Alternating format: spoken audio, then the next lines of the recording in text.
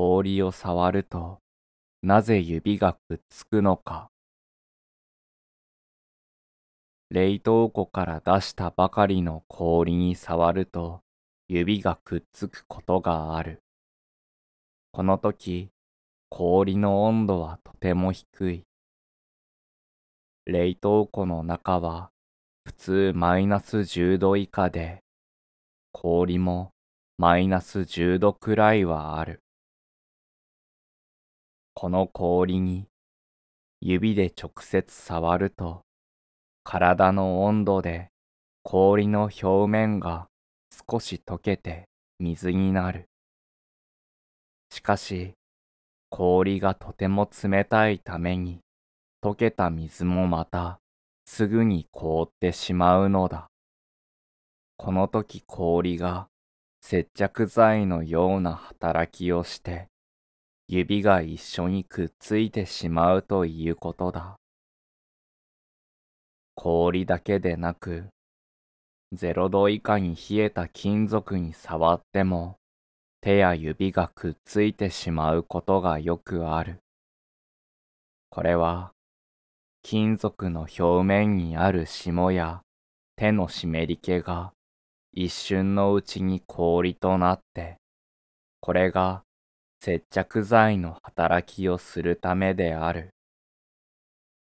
もしこのような状態になったら、すぐ手に水をかけること。慌てて無理に剥がすと、皮膚が剥がれたりして、怪我をすることがある。氷に指がくっついた時も同じで、水をかけるとすぐ取れるため慌てないこと。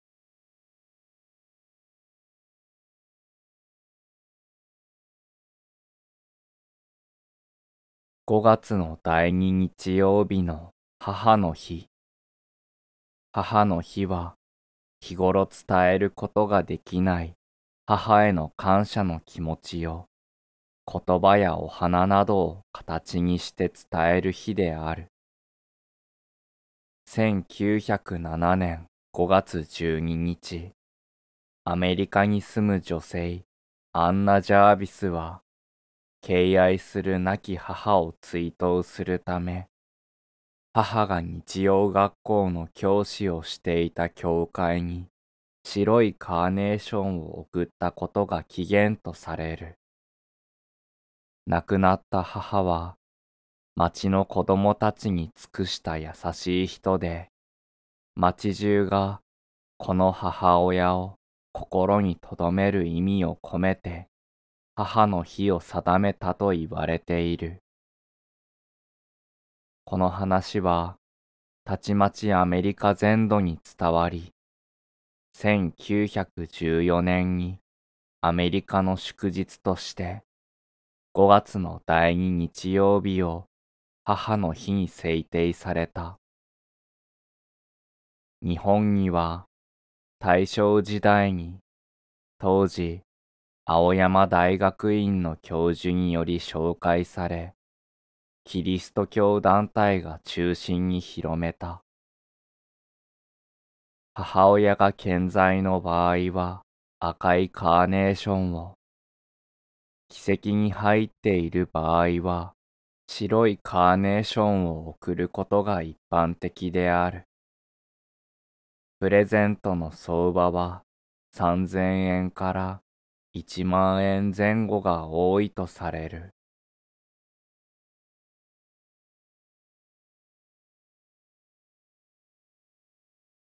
クロワッサンはなぜ三日月型なのか。両端がくるりと丸まった三日月型をしたクロワッサン。カフェオレとクロワッサンの朝食は、おしゃれなパリのイメージだが、このパンが生まれたのは、フランスではなく、オーストリアの都、ウィーンと言われる。1683年、ウィーンの町はオスマントルコの大軍に包囲されていた。ウィーン市民の命はもはや風前の灯火。ところがある朝、暗いうちから起きて地下室で仕込みをしていたパン屋が怪しい物音に気づいた。それはトルコ軍が地下道を掘って市内に攻め込もうとしている音であった。パン屋がすぐさまこれを軍に知らせたことをきっかけにトルコ軍は撃退された。皇帝レオポルト一世は喜び、パン屋に三日月型のパンを焼くように命じる。オスマントルコの国旗には三日月が書かれているため、三日月型のパンを食べてトルコを食っちまえということだ。こうしてクロワッサンは大流行し、やがてフランスにも広まっていった。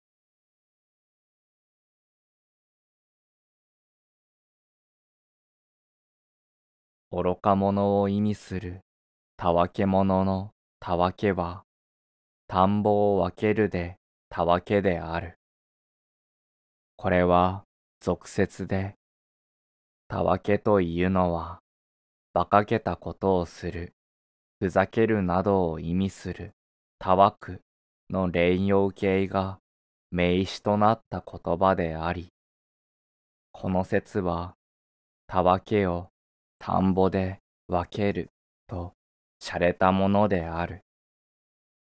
つまりたわけ者は、たわける者、たわけ者が正しい語源である。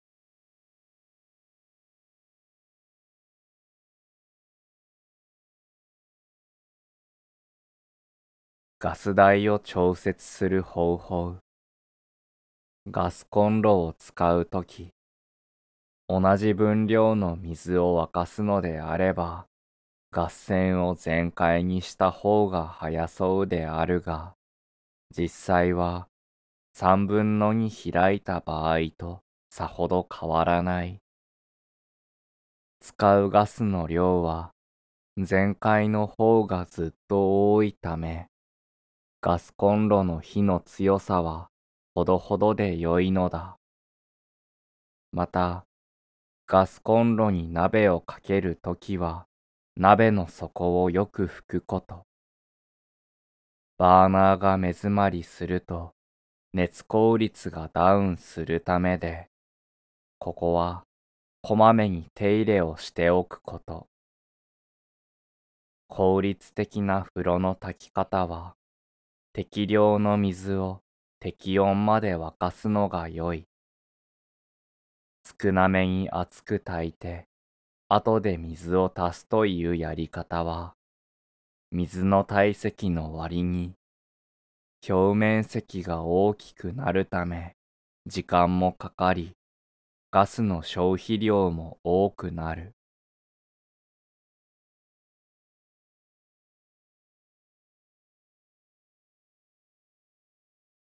磁石はなぜくっつくのか磁石は鉄でできている。もちろん普通の棒磁石も鉄からできている。一本の棒磁石を真ん中から半分に折ると二つの棒磁石になる。この小さくなった棒磁石をまた半分に折ると、さらに小さな棒磁石ができる。このようにして、棒磁石をどんどん細かくすると、細かく分かれた数だけ磁石ができる。砂粒ほどに細かくしても、砂粒ほどの磁石ができる。さらに細かく分けて、顕微鏡でも見えないほどまで小さくする。そうすると、最後には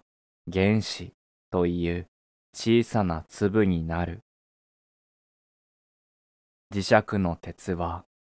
たとえ原子になっても磁石の力を持っている。この原子というのは、真ん中に原子核というものがあり、その周りを電子という小さな粒が回転する仕組みになっている。この電子の回転こそが磁石の力を生み出しているのだ。鉄には磁力のある鉄とない鉄がある。磁石になっていない鉄は電子が回転していないのだろうか。そうではない。回転はしていても磁石になっていない鉄ではその電子の回転する向きや軌道がバラバラなためお互いに力を打ち消し合ってしまって磁石にならない。それに対し磁石になった鉄では電子の回転する方向などがきれいに揃っているため磁石は互いに打ち消されることなく磁石になるということだ。鉄には他の金属よりも電子の回転の方向が揃いやすいという性質がある。つまり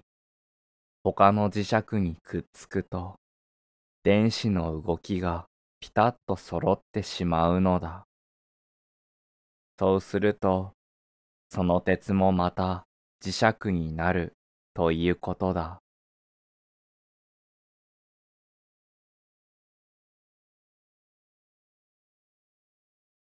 握り寿司一貫の缶とは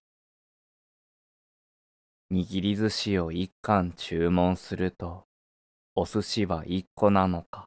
二個なのかと疑問に思うお店によってはお寿司一個を一貫二個を一貫と様々である最近では一貫はお寿司一個と数えることが多い。缶は尺貫法で個数を数える単位かと思いきや、質量を表す単位で、一貫は一個でも二個でもよいのだ。握り寿司を数えるのに、缶の文字を当てるのは1970年代以降とされている。古い文献に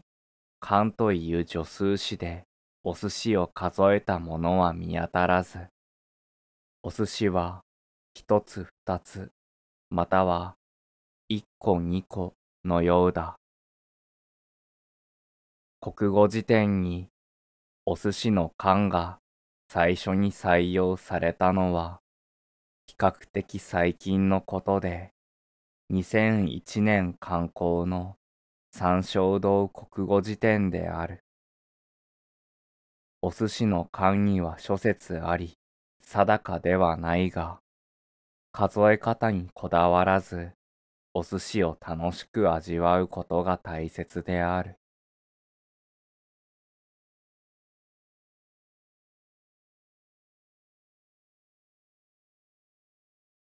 世界最大の戦艦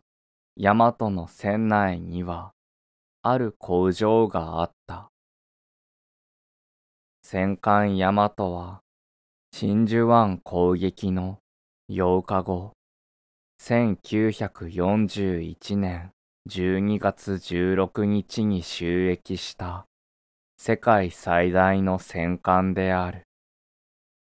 ミッドウェー、マリアナ沖、レイテ沖といった海戦にたびたび出動したが、その巨大さゆえか、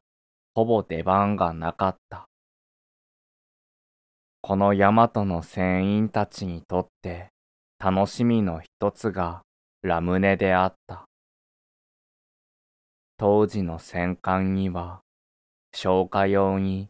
炭酸ガスの発生装置がついており、これとシロップ、水を混ぜればラムネができた。ただし、ラムネの配給は上官優先で末端まで届かず、ラムネ当番だけは自由に飲めたのだそうだ。ヤマトはそれまで戦隊機関だった長門より桁違いに大きく、冷暖房設備やエレベーター完備、ラムネだけでなく、アイスクリーム製造機まであった。そんな居住性にも優れたヤマトを人々はヤマトホテルと呼んでいた。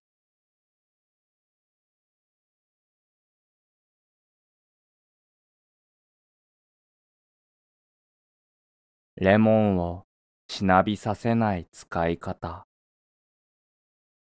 レモンは案外最後まで使い切らないことがある。スライスした残りにラップを巻き、冷蔵庫に入れておくうち、いつしかその存在を忘れてしまい、ある日、見る影もなくしなびたレモンの残骸を発見する。よく考えると、レモンというのは料理にちょっとかければ済む場合が多い。であれば、レモンはスライスする必要はなく、爪楊枝などで穴を開け、必要な分だけ絞るのが合理的である。このように、レモンの残りが干からびることなく、最後の一滴まで使い切ることができるのだ。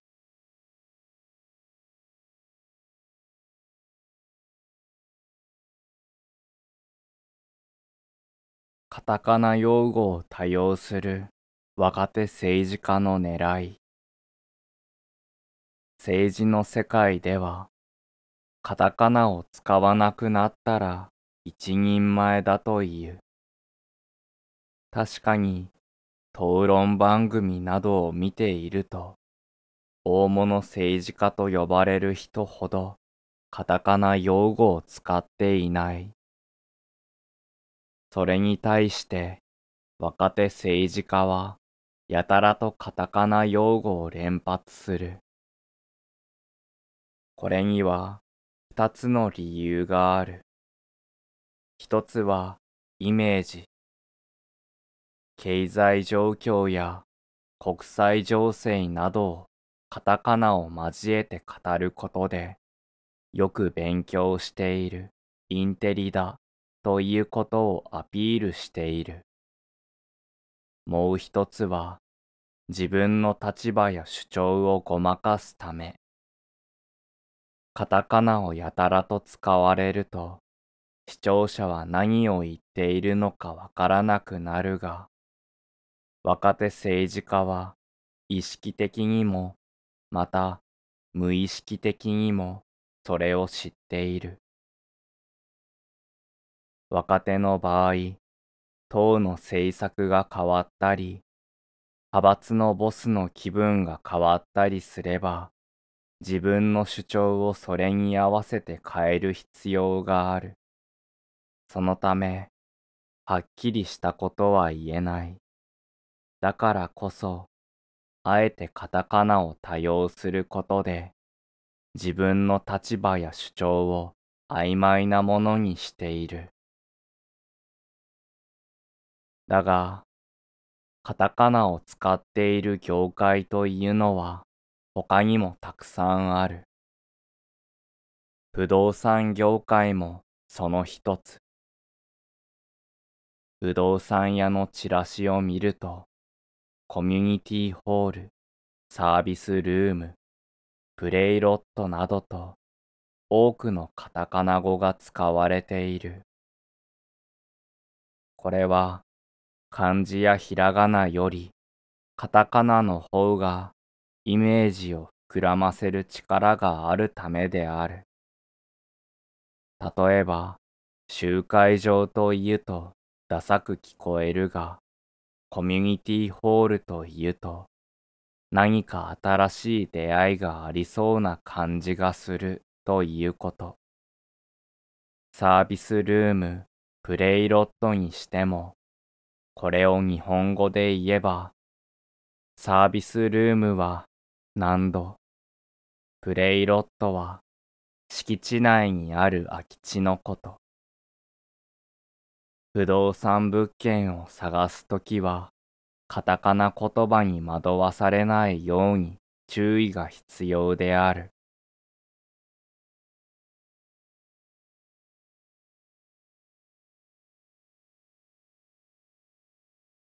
静電気はなぜ起きるのか。下敷きを髪の毛でこすると髪の毛が下敷きに吸い付く。これは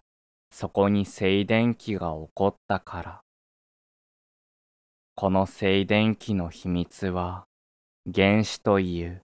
非常に小さな粒の中にある。この世界にあるものはどんなものでも酸素や水素、炭素、鉄といったいろいろな原子からできている。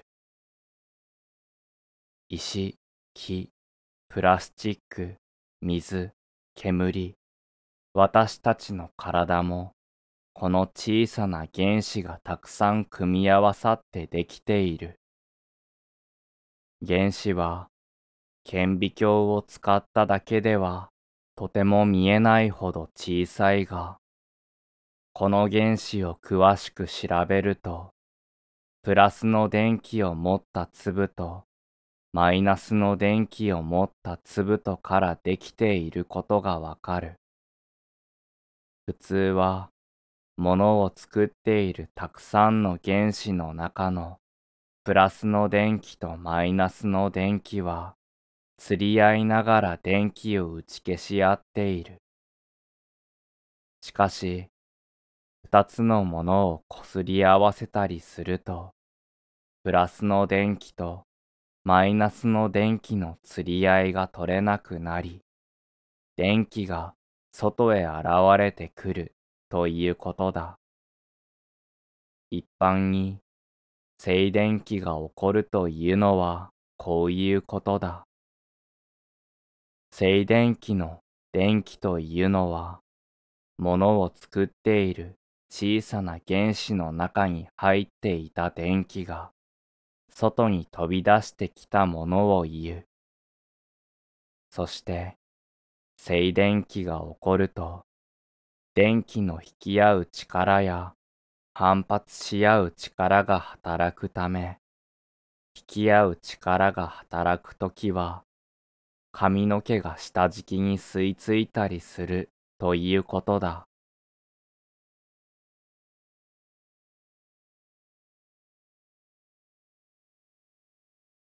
NHK みんなの歌1961年4月3日子供たちに明るい健康な歌を届けたいというコンセプトで放送をスタートした。当時、高度成長期でテレビの普及が進み、次々に歌謡曲や CM が誕生する中、子供たちが真似をするようになったことを心配し、健康的な歌詞とメロディーの歌を届けたいとの思いで番組がスタートした。昭和、平成、令和の時代とともに、テレビとラジオの5分間の音楽番組として、約1500曲の楽曲が放送された。その最初の曲は、大巻場は緑である。この番組からはヒット曲も生まれ、山口さんちのつとむくん、切手のない贈り物、お尻かじり虫などが挙げられ、100万枚を突破した曲もある。ちなみに、2021年4月で放送開始60周年を迎えるのはお母さんと一緒。今日の料理、今日の健康など、NHK を代表する長寿番組である。みんなの歌もまた同じく60周年を迎えた。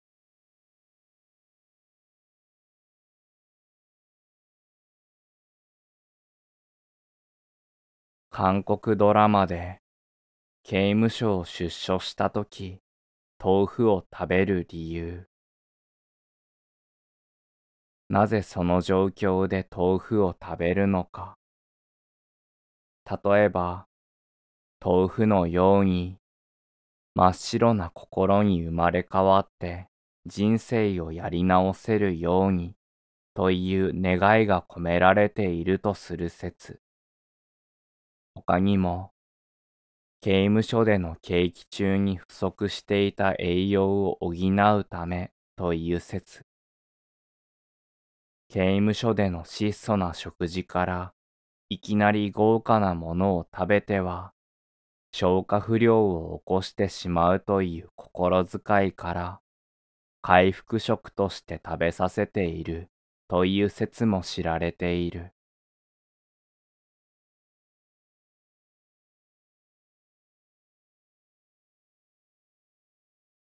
ネクタイはクロアチア兵が首に巻いた布が始まりである。現在のネクタイの原型ができたのは17世紀頃。国王に仕えるためにパリに訪れた際、クロアチアの傭兵がしていた格好がネクタイのルーツである。彼らは皆首に布を巻いており、その姿に興味を持った当時のパリ市民が真似し始めた。ちなみに、1884年10月1日に小山梅吉が日本で初めてネクタイを生産したことを記念し、1971年に日本ネクタイ組合連合会が10月1日をネクタイの日と定めた。小山梅吉は帽子賞で、ネクタイの国産第1号は蝶ネクタイだったと言われている。なお、日本人の最初のネクタイ着用者はジョン万次郎だと言われている。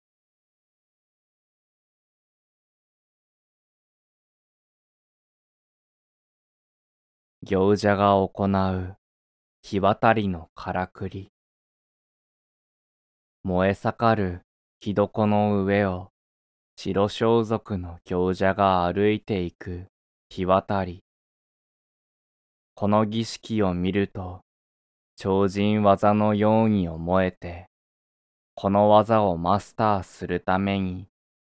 さぞや厳しい修行を積んだのだろう、と感心してしまうことだろう。ところが、この日渡りの儀式にはからくりがあり、そのからくりを知れば、誰にでもできる技ということがわかる。まず、あの燃え盛る火床が松の木を燃やしているということがポイントである。松の木の消し炭には非常に灰分が多い。この灰をよく固めた上に塩を巻き、さらに自分の足の裏にも塩をつける。こうして強く踏みしめると、一瞬火が消えかける。そしてまた足を上げると、火星は強くなる。これが見物人には、行者たちがさも燃え盛る火床を何事もないように歩いているように見えるのだ。行者たちが歩き始める直前、足の裏に塩をつけているのは、この効果を期待してのことである。お清めの塩のように見えるが、暑さを防ぐための種である。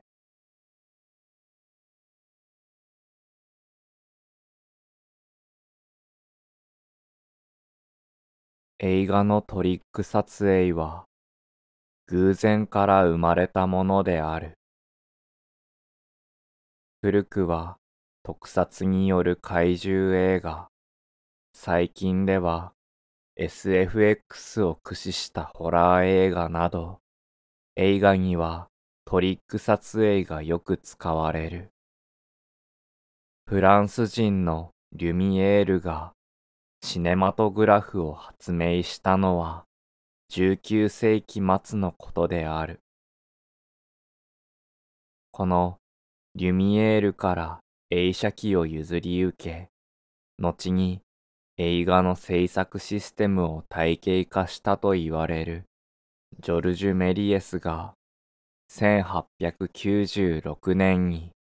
オペラ座広場で撮影をしていた時のこと。その時たまたま広場の向こうからやってきたのが乗り合い馬車である。メリエスはそのまま撮影を続けたが、フィルムが途中で引っかかってしまったため、撮影は一時中断する。そして改めて映写機を回し始めたところ、画面の中央にいたはずの馬車は去り、代わりに霊柩車が止まっていた。これに気づかず撮影を続けたメリエスは現像をしたフィルムを見てびっくり。乗り合い馬車が一瞬にして霊柩車に入れ替わっていたのだ。当たり前といえば当たり前のことだが、これぞ元祖トリック撮影で、後にメリエスは、この経験をもとに、ロベール・ウーダン劇場における婦人の雲隠れという、史上初の特撮映画を制作することになった。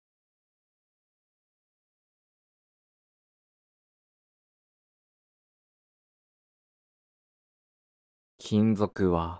なぜ錆びるのか。鉄の釘を雨の当たるところやじめじめしたところなどにしばらく置くと赤く錆びてしまう。この錆は鉄だけでなく、その他の金属でも起こること。例えば、緑色に変色した十円玉。これは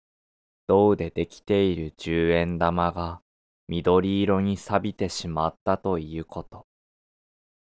鉄や銅などの金物のことを金属というが、金属が錆びるときはすべて酸素が関係している。酸素は私たち人間が呼吸をしながら吸い込んでいるもので、空気の中にたくさん含まれている。この酸素が、例えば、鉄とゆっくり結びつくと、鉄の表面に元の鉄とは違った性質のものができる。鉄と酸素が結びついてできたものは酸化鉄と呼ばれているが、これがたくさん集まって目に見えるようになったものが錆である。このように金属の錆の原因になっているのは酸素である。したがって酸素のないところ、例えば宇宙などに鉄を持っていけば鉄が錆びることはないということになる。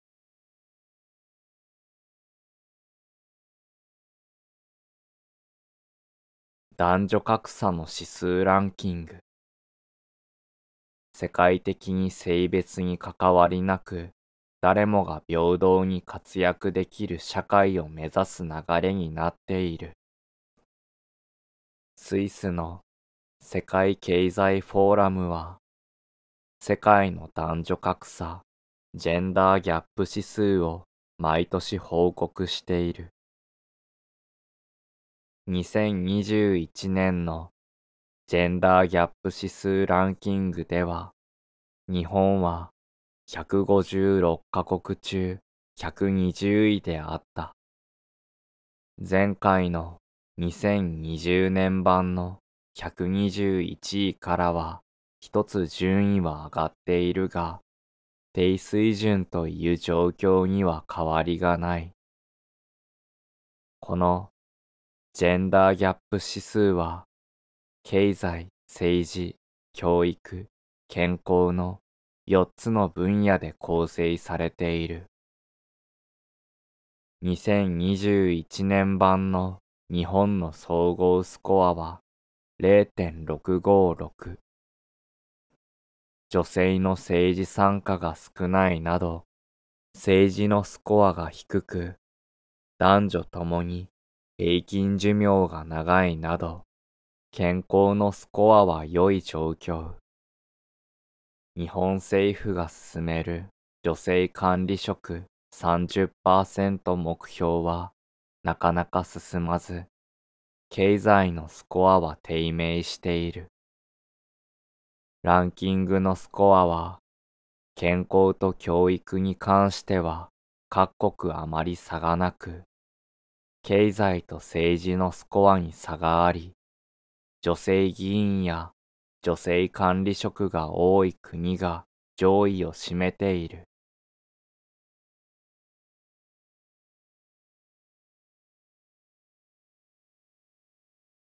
神殿に火をつけたのは有名になるためである。歴史に残る最古の放火とされているのは世界の七不思議の一つに数えられるエフェソスのアルテミス神殿への放火。事件が起こったのは紀元前356年で、火をつけたのは古代ギリシャの若い羊飼いヘロストラトス。歴史に名を残すためという迷惑な理由から神殿は燃やされてしまったが、エロストラトスは即処刑されただけでなく、その名前を口頭で伝えたり、書面に残したりすることを禁止する記録抹殺刑に処されたという。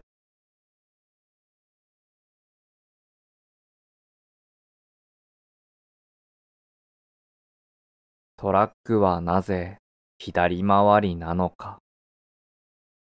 幼稚園、小学校、中学校、高校、そして世界陸上。トラックはすべて左回りで走る。1896年に開催されたアテネでの第1回近代オリンピックでは、実は時計と同じ右回りであった。それより前に行われたイギリスでのオックスフォード大学とケンブリッジ大学との対抗戦でも右回りだったという資料が残っている。それが第2回のパリ五輪で初めて左回りになり、1912年国際陸上競技連盟が設立され、トラックは左回りと規定された。しかし、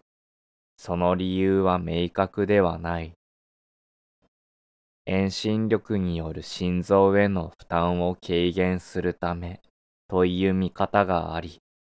この考え方が支配的である。また、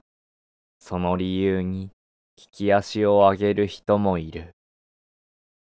人間の7割が左足を軸にして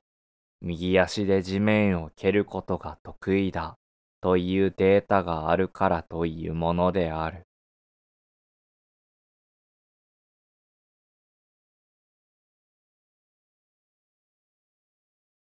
有名人でなくとも大型書店のサイン会で行列ができる理由作家や評論家が新刊を出版したとき本の宣伝とファンとの交流を兼ねて行われるイベントで紀ノ国屋書店、有林堂書店、三正堂書店など大型書店ではよく開催される。イベントに呼ばれるのは大抵名の通った作家。当然のことながら、ある程度の知名度がなければお客さんを呼べないからである。しかし、たまにあまり名が知られていない作家のサイン会が開かれることもある。例えば、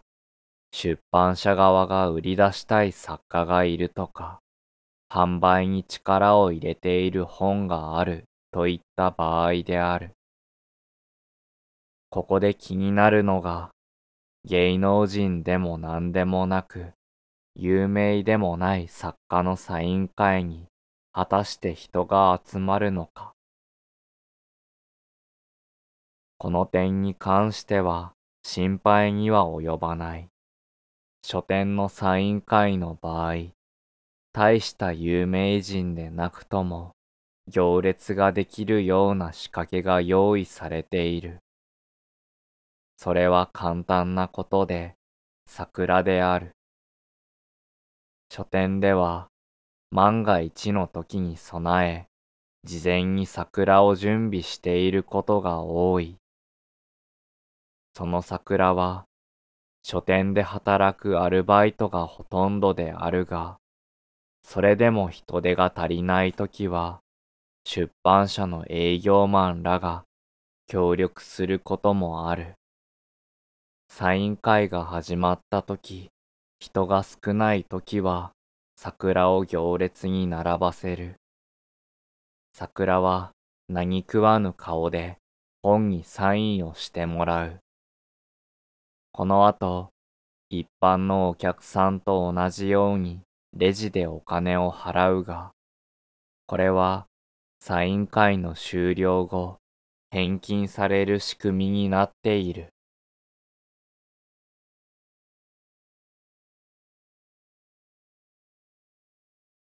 電気はどこでどのように作られて家に届いているのか。私たちの家に送られてくる電気は発電所というところで作られる。主な発電所には水力発電所、火力発電所、原子力発電所の3種類がある。水力発電所はほとんどが山の中にあり、ダムでせき止めた水を下に勢いよく落とし、その水で水車を回す。水車は発電球という機械につながっており、そこで電気を起こしている。火力発電所と原子力発電所の近くには海がある。火力発電は石油や天然ガスを燃やし水を蒸気にする。その蒸気で発電機の水車を回して電気を起こす。原子力発電所は核燃料というものからエネルギーを取り出して蒸気を起こし発電機を回しているのだ。このようにして発電所で作られた電気は送電線を通って私たちの家の近くの電柱までやってくる。そして電柱に乗っているトランスという機械によってテレビや洗濯機、冷蔵庫など電気製品に合った100ボルトの電圧まで下げられ、私たちの家に届けられているのだ。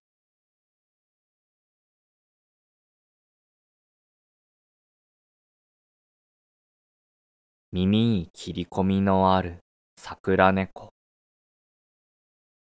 猫は一回の出産で5頭から8頭の子猫を産む。子猫は4ヶ月ほどで成熟し、子供を産むことができる状態になる。出産期間は60日ほど。子猫が生まれて半年後は、次の世代の子猫が生まれることになる。増えすぎた猫は、一年間に2万7千頭が殺処分されている。罪なき命が殺処分されている状況に、飼い主のいない猫を確保して、不妊、去勢手術を行い、元の場所に戻すという活動が注目されている。手術の際、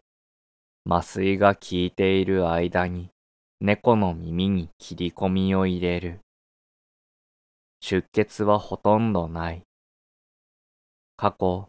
切り込みの目印がなかった猫が二度捕獲された経験からとのことだ。切り込みの形が桜に似ていることから桜猫と呼ばれる。この切り込みの位置でオスメスを見分けることができる。右耳はオス猫で、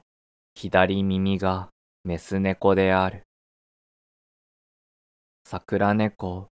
TNR 活動とは、T がトラップで捕獲すること、N がニューターで不妊去勢手術をすること、R がリターンで猫を元の場所に戻すこと。飼い主のいない猫に対して、桜猫 TNR 活動を通じて元の場所に戻す取り組みは、繁殖を防止するとともに、地域の猫、桜猫として殺処分の減少に寄与する活動である。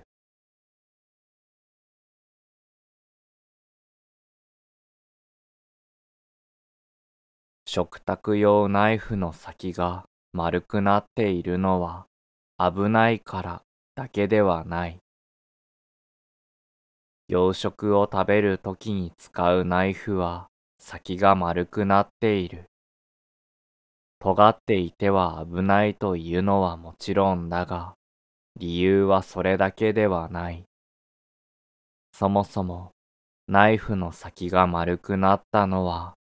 17世紀のフランスでのこと。それまでは、食卓用のナイフはピンと先が尖っていた。そして、貴族の男たちは食卓だろうが、誰が見ていようがお構いなしで、ナイフで歯をほじっていた。これはマナー違反であるが、テーブルマナーはまださほど確立されていなかったため、眉を潜める者がいても、男たちは平気であった。これに我慢できなかったのが、ルイ十三世、最小のリシュリューである。フランスを大国の地位に押し上げたラツワンの政治家で、プライベートでも洗練された趣味の持ち主である。彼は自分の家にやってきた身分の高い客がナイフで歯をほじるのを見て頭にきた。そして家にあるナイフの先を召使いに命じてすべて丸く削らせた。これなら歯をほじろうにもうまくほじれない。これを聞いた貴婦人たちは我も我もと先の丸いリシュリュー型ナイフを注文した。彼女たちもまた男がテーブルで歯をほじるのを苦々しく思っていたのだ。こうしてヨーロッパや世界へと広まっていった。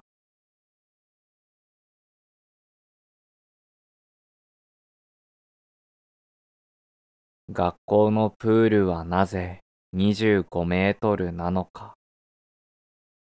その理由は、水泳の公式競技が50メートル、100メートル、200メートルで争われるものがほとんどだからである。25メートルを折り返せば、公式競技の練習に都合が良いのだ。もちろん、公式のプールと同じ50メートルのプールの方が望ましいが、校庭をプールだけで埋めてしまうのはできない相談である。やむを得ずの妥協線が25メートルということだ。学校のプールといえど、日本の厳しい土地事情にはかなわないというところだ。ちなみに、プールの水深は、小学校が0.8から1.2メートル、中学校が0.9から1.4メートル、高校大学が1.2メートルから1.7メートル程度、一般遊泳が1.2メートル程度となっている。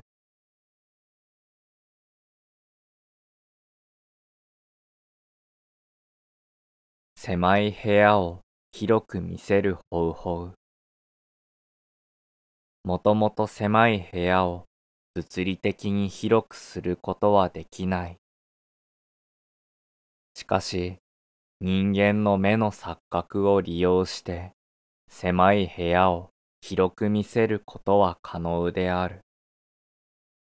人間の目は同じ面積の部屋であれば長方形より正方形の方が広く見える。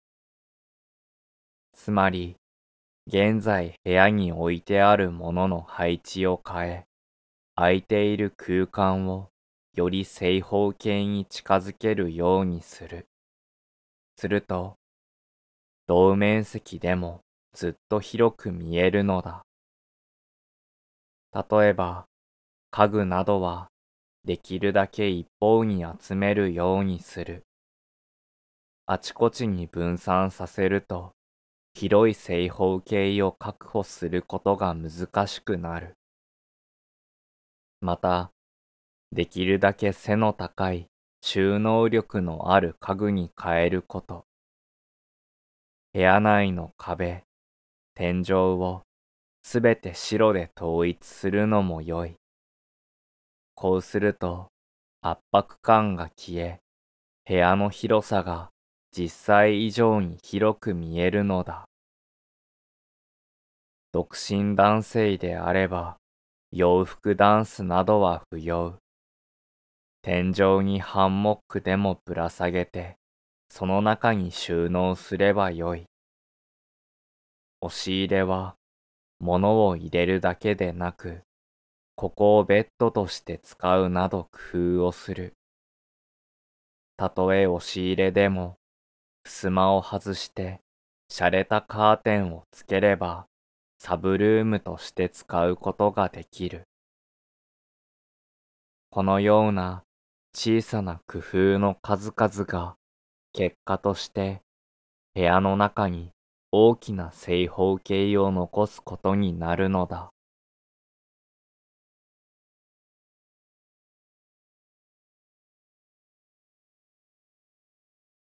公園で始まったパークゴルフ。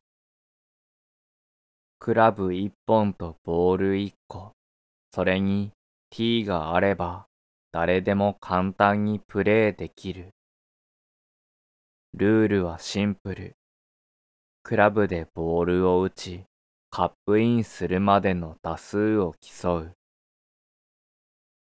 1983年6月、北海道幕別町で誕生したパークゴルフ。鳥取県で考案されたグラウンドゴルフをヒントに発案された。乾いた土の上ではボールが転がりすぎて強く打つことができない。公園の芝生はゴルフのように強く打つことができる。田舎の公園は人が遊ばずに公園が遊んでいる状態だったため都合が良かったのだ。だからパークゴルフと名付けられた。パークゴルフ発祥の地、ツツジコースには全国から多くの愛好者が訪れ、プレーを楽しんでいるようだ。国内には130万人の愛好者を数え、1221のコースがある。海外の12カ国にもコースがあるようだ。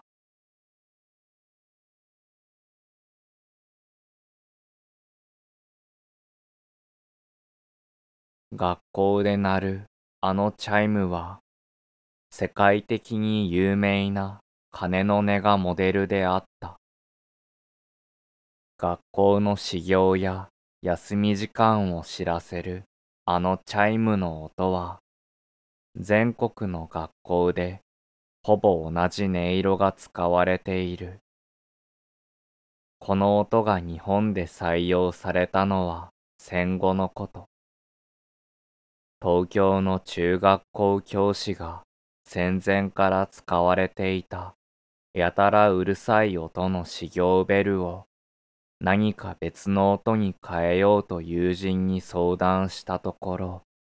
鐘の音色を提案されたことがきっかけだったという。こうして使われ始めたメロディーは、ビッグベンの名で知られる、ロンドンの時計塔で打ち鳴らされる鐘の音から着想を得たものである。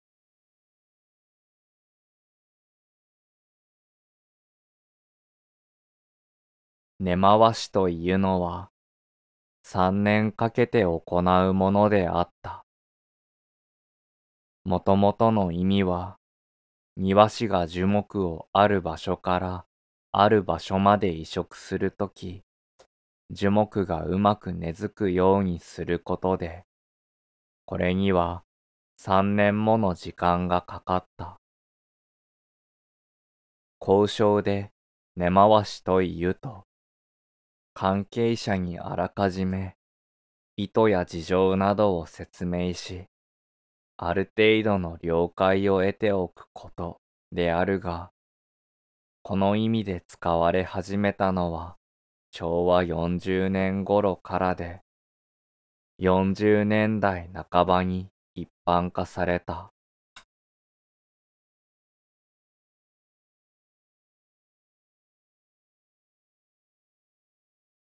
映画で雪の代わりに使われていたある食べ物。歌舞伎で雪といえば白い紙を細かく切ったもの。歌舞伎は約束ごとの世界のため、これはこれでよいが、リアリティを重んじる映画でこれをやったらしらけてしまう。雪はあくまで雪に見える代物でなくてはならない。現代の演出では雪の代わりに発泡スチロールなどが使われるが、そんな便利なものがなかったハリウッドの創世紀の映画制作現場では、次のような方法が採用されていた。最初に雪の代わりとなったのは羽毛である。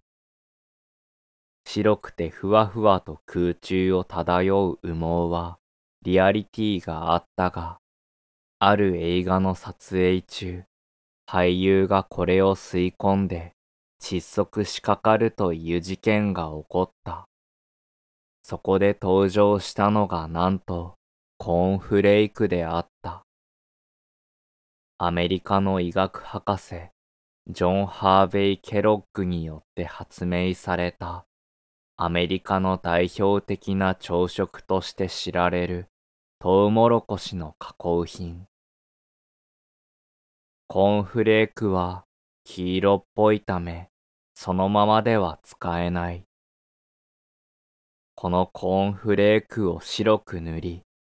スタジオの天井から降らせると、あら不思議、見事な雪に変わるのだ。コーンフレークは、1938年に公開された女優ドロシー・ラムーア主演の映画北海の子で採用されて以来、発泡スチロールが登場するまでの間活躍したというが、まだフィルムの感度が低かった時代ならではの昔話である。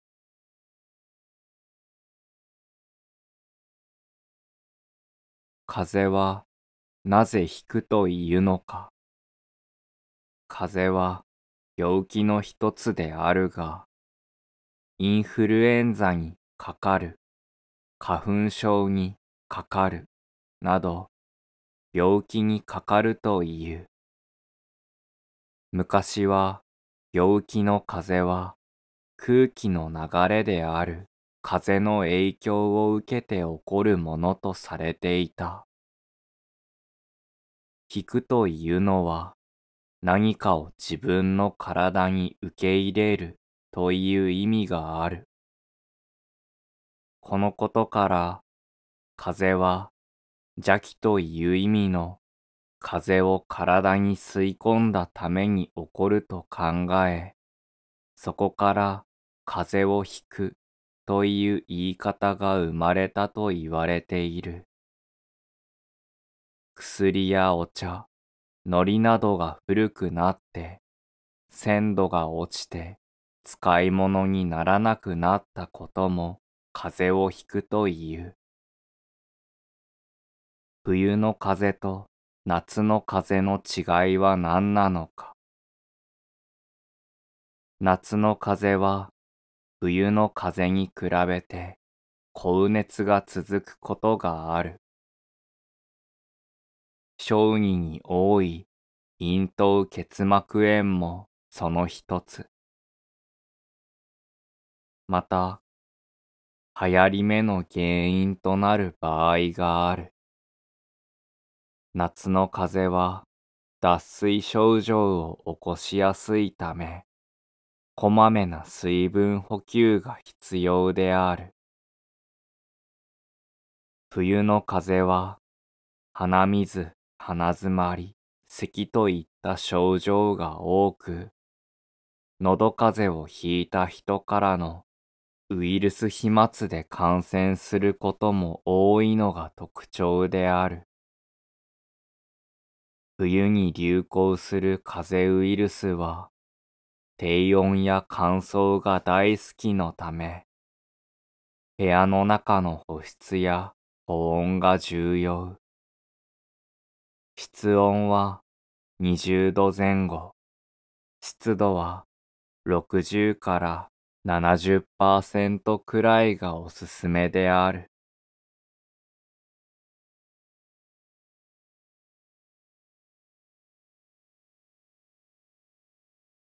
酒をちゃんぽんで飲むと悪酔いしやすいというのは本当なのか？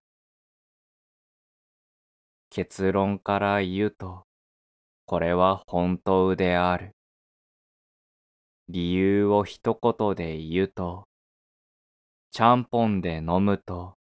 肝臓への負担が倍増するからである。しかし、種類によってそこに含まれるアルコールの濃度が異なる。そして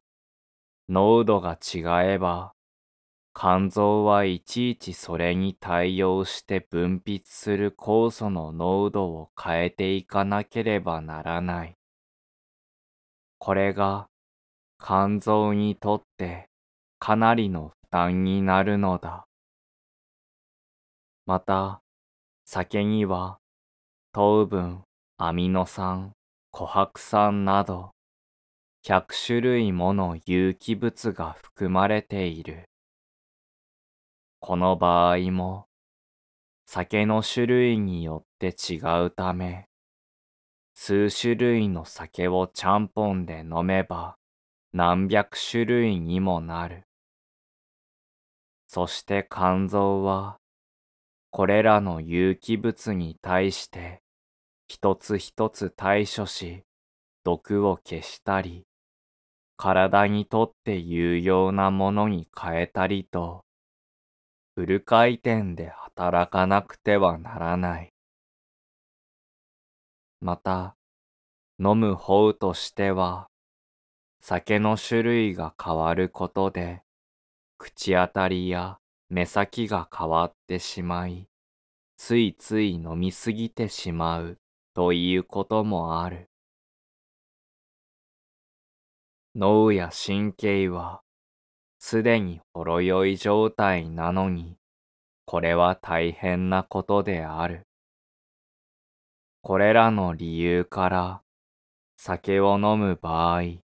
一種類だけの場合に比べて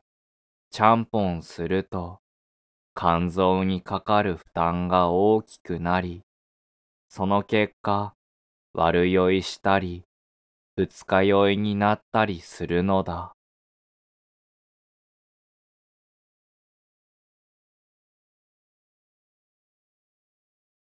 伝統的七夕とは国立天文台では旧暦7月7日のかつての七夕を伝統的七夕と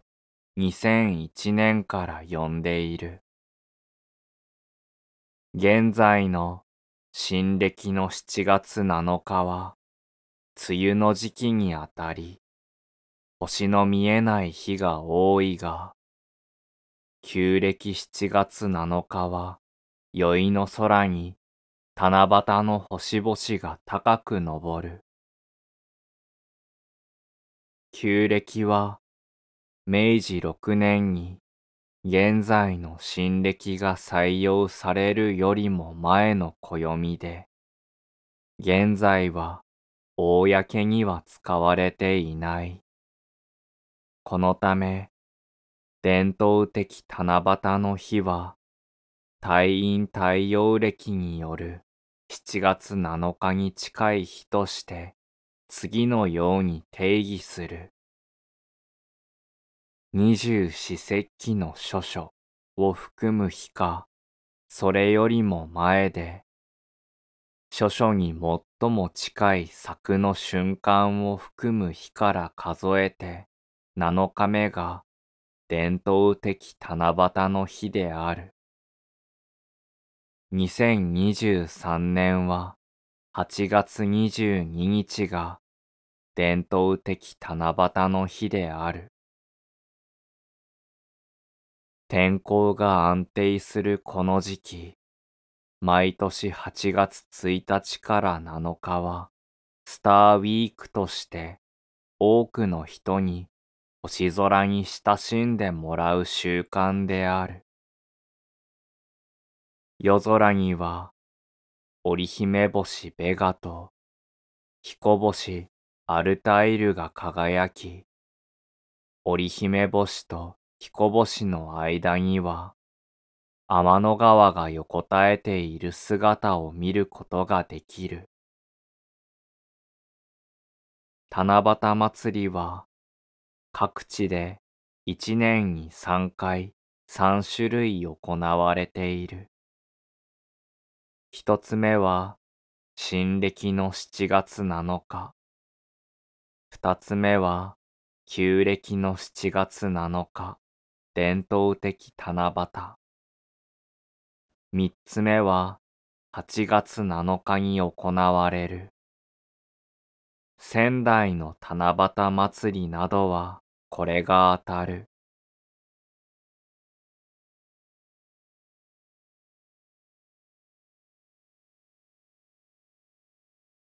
江戸時代からゴミを収集する制度があった。江戸幕府が開かれて間もない慶安元年には、なんと、早くもゴミの不法投棄に対する処罰や、町内会での飛ぶさらいを奨励するお触れが出されていた。そして、それから14年後の漢文2年には、今で言うゴミの定期収集が始まっていたのだ。これは、日本橋通りより北は毎月2の日、南は3の日にゴミ取り船を差し向けて、各町内のゴミを収集するもので、元禄十年には清掃局の前身とも言える芥改め役という役目ができていたのだ。そして船で集められたゴミは当初東京湾の永代湾などに捨てていたようだ。しかし、江戸の人口は増える一方、増え続けるゴミ問題に頭を悩ませた幕府は、ついに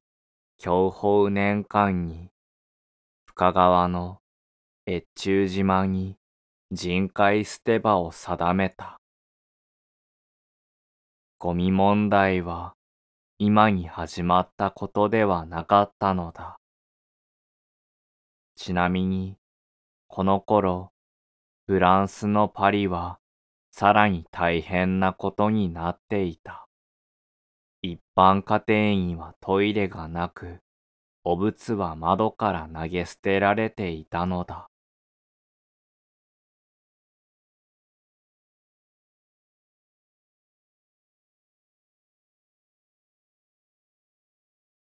都道府県名と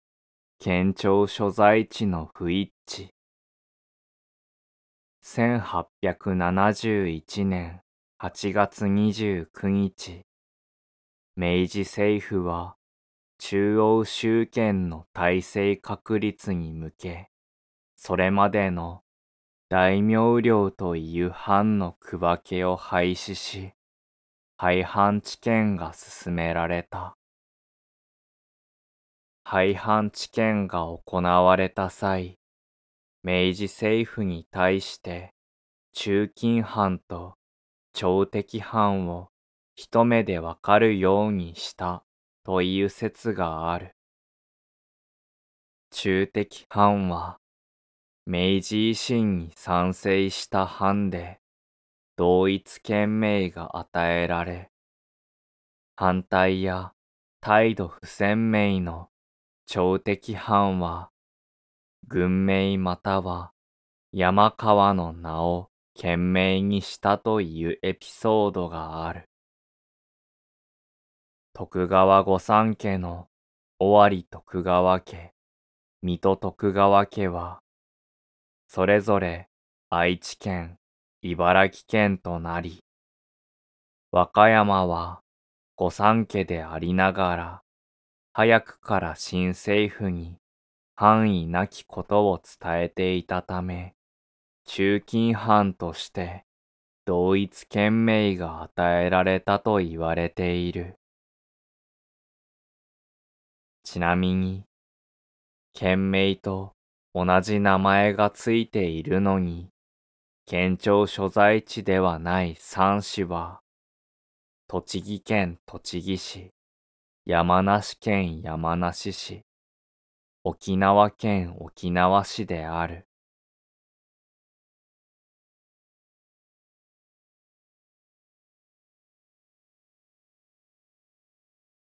テレフォンショッキングは、タモリがあるアイドル歌手にたどり着きたくて作ったコーナーであった。かつて、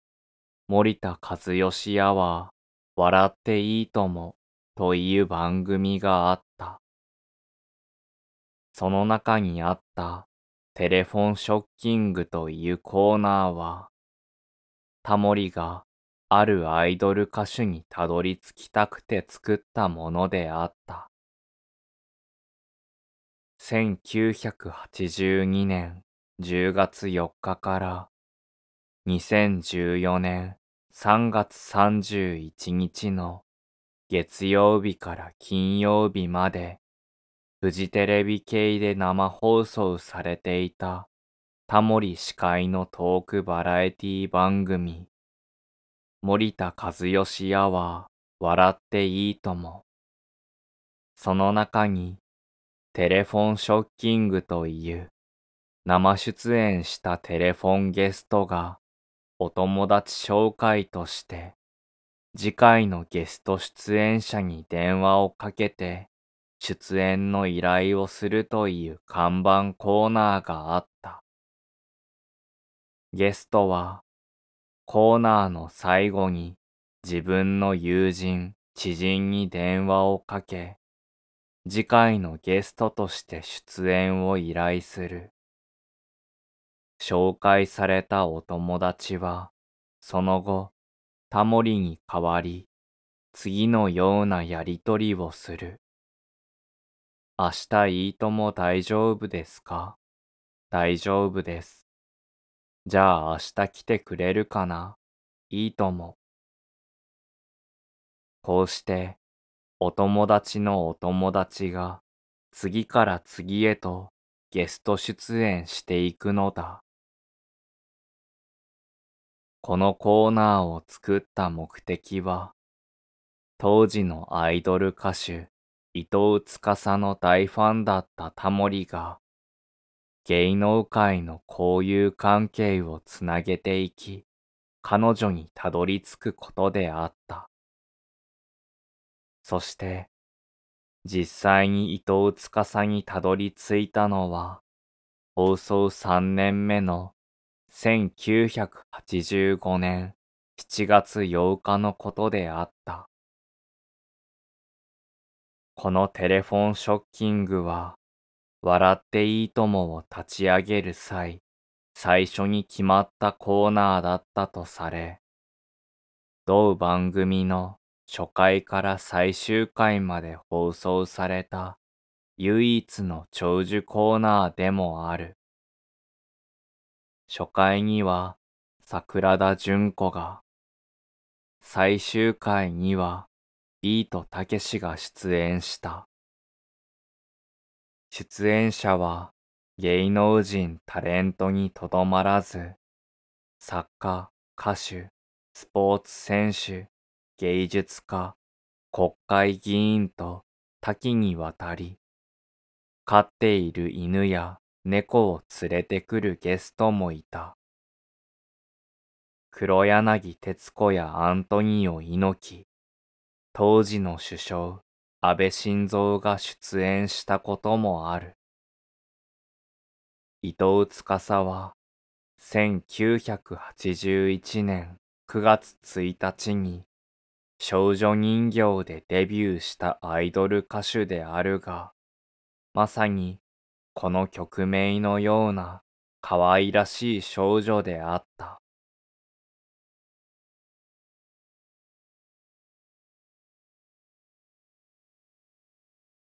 牛乳でお腹を壊す理由一般に冷たい飲み物を一気に飲むと腸を刺激してお腹が緩くなると言われる。牛乳も冷たい状態ではお腹がゴロゴロする人も少なくない。牛乳に含まれる乳糖はお腹の酵素ラクターゼに分解されて体に吸収される。このラクターゼの量が少ないと、お腹の中で乳糖が分解、吸収されにくくなり、お腹がゴロゴロしたりするのだ。子供の頃は冷たい牛乳も平気だったが、大人になるとラクターゼ分泌が減少することが多いようだ。子供の頃から乳製品を続けてきた人は、ゴロゴロなりにくいと言われているが、牛乳を温めてゆっくり飲むと良いようだ。また、チーズやヨーグルトは製造過程で乳糖を分解するためゴロゴロしにくいようだ。牛乳に含まれる乳糖をお腹の中で分解吸収させる酵素ラクターゼは乳児の間は十分に備わっているもののしばらく牛乳などの乳製品を取らないと減少して働きが鈍ってしまう。日本人は年を取るに従って乳製品を取らなくなる傾向があるため、乳糖の消化も衰えてお腹がゴロゴロしやすくなる。日本人の約10%が牛乳を飲むとお腹がゴロゴロしたり下痢をしたりする。歴史的に乳製品を取ってこなかった日本人は、離乳期以降になると、ラクターゼ分泌をしにくくなる。健康食品の牛乳は、嗜好品に入る人も多く、タンパク質やカルシウムが豊富に取れる牛乳のイメージは、嗜好品の人にとっては脂肪も多く、動脈硬化を促進させてしまうデメリットもあるようだ。欧米人の80%以上は、お腹の中にラクターゼを持っているというデータがあり、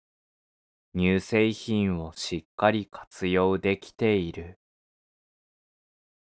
これが人種の差による体内の酵素、腸内細菌の違いである。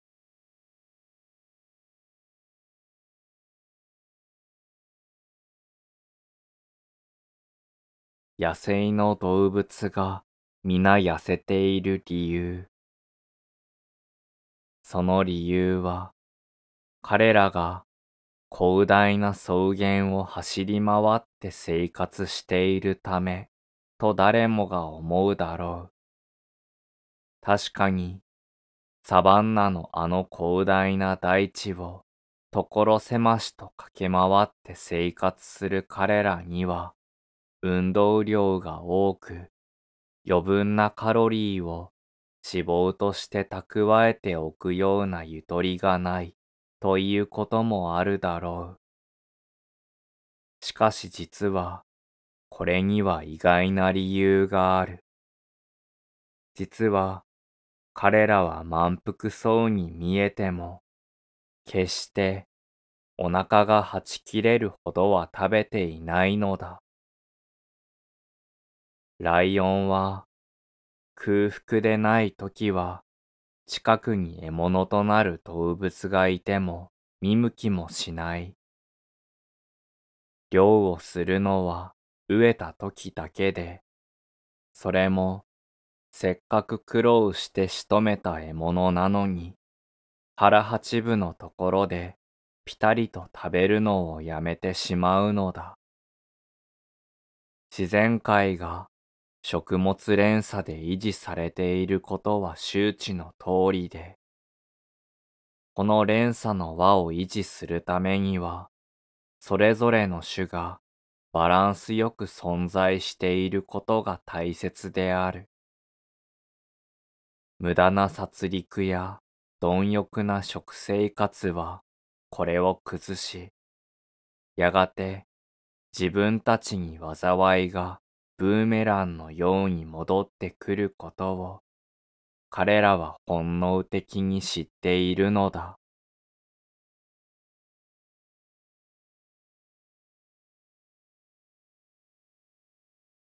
ひな祭りにハマグリを食べる理由毎年ひな祭りになると赤飯とハマグリのお吸い物を食べて祝う地方が多い。しかし、なぜ他の貝ではなくてハマグリなのか。これは、ハマグリの殻が他のハマグリの殻とは絶対に合わないことから、低層堅固であるという意味があるため、江戸時代の武家屋敷では、女子の低層は絶対に守らなければならないという不分律があり、ハマグリは嫁入り道具として使われていた。ハマグリは、貝桶と呼ばれ、真っ先に新郎の家に運び込まれたそうだ。そしてこの貝桶には、旧暦の一年分、つまり360個が入れてあり、通年の夫婦和合を祈ったと言われている。このようなことから、ひな祭りにハマグリを食べる習慣ができてきたと言われている。現代では、低層といっても、ただ堅苦しいだけの漢字しかない。そこで、ひな祭りのハマグリには、女の子が幸せな一生を送ることができるようにとの願いが込められている。と説明されることがあるようだ。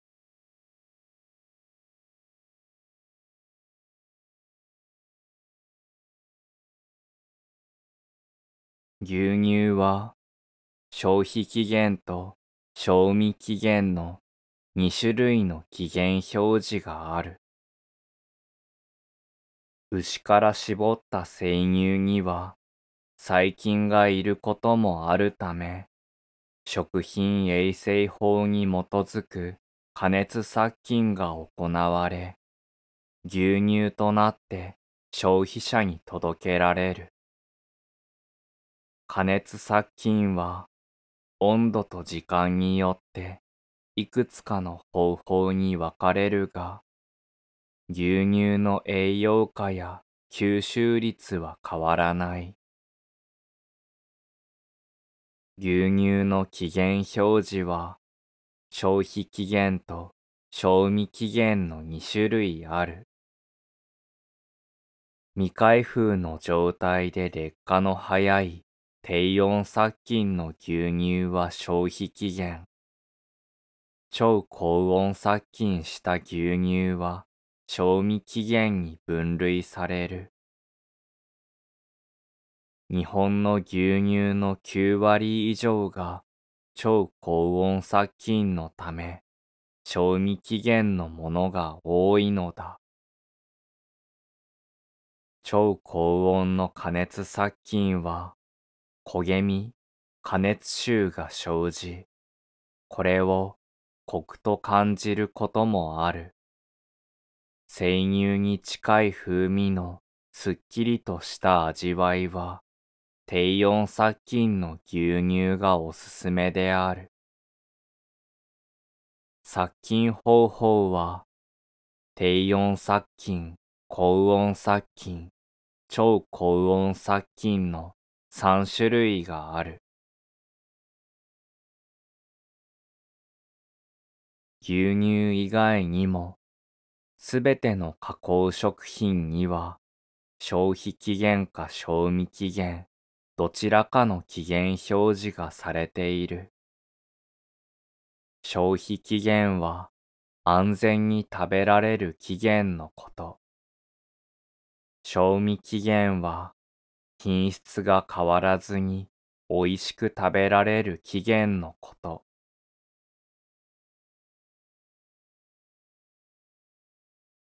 うなぎとステーキ、スタミナがつくのはどっちなのか。両者ともたっぷりと栄養を含み、食欲不振やだるさもあっという間に吹き飛ばしてくれそうであるが、夏バテに効くという点に関して言えば、はるかにうなぎの方が優れている。スポーツをした後などは別として、夏は冷房の効いた部屋にいて、体を動かすことが少ないため、熱量の消費も少なく、あまりカロリー消費をしない。しかし、暑さのために、ビタミンやミネラル、とりわけ、ビタミン B 群の消耗が激しく、それが夏バテの原因となる。そして、うなぎの持つ栄養分は、まさにこれにうってつけ。まるで夏バテのために存在しているかのように、ビタミン B 群をはじめ、A、D などを含んでいる。一方のステーキは、カロリー源としては非常に優れているが、ビタミンやミネラルは夏バテの不足を補うほどには含まれていないのだ。むしろ、ビタミン B 群は豚肉の方がはるかに多く含まれているため、無理して高いステーキを食べるよりは、とんかつの方がずっとお得ということになる。なお、他にビタミン群が多い食べ物には、サバ、イワシなどの青魚、シジミ、牛乳、納豆などが挙げられる。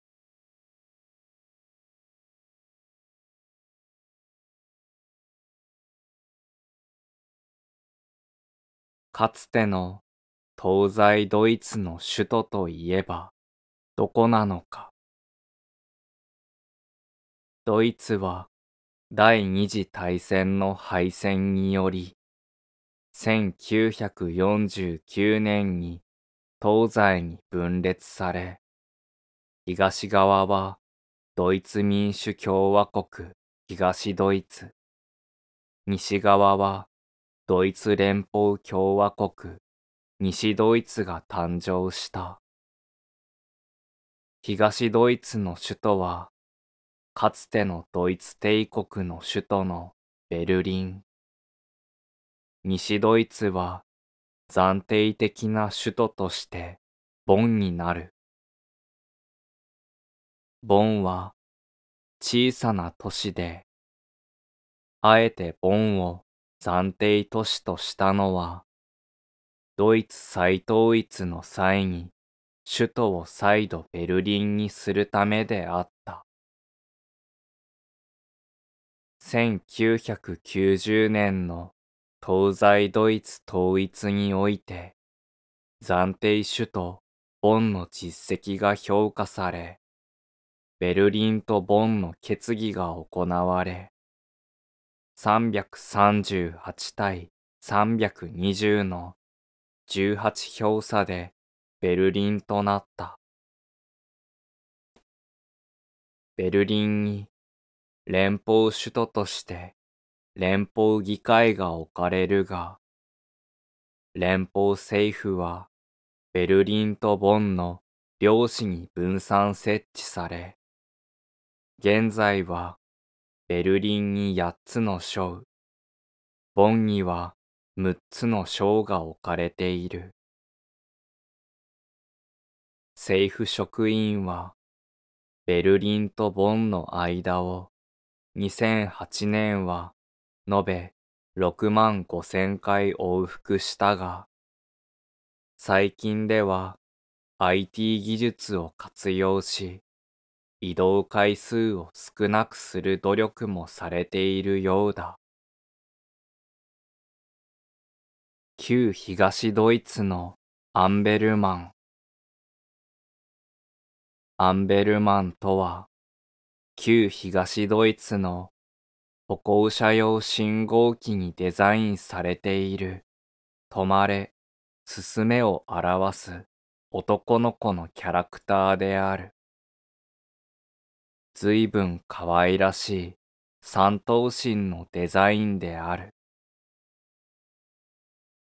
東西ドイツが統一される際、旧西ドイツの信号機のスマートな大人のシルエットに移行することが決まったが、市民の間から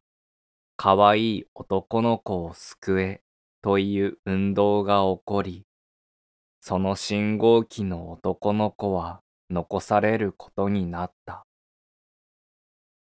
現在では洋服や文房具のキャラクターとしても大人気である。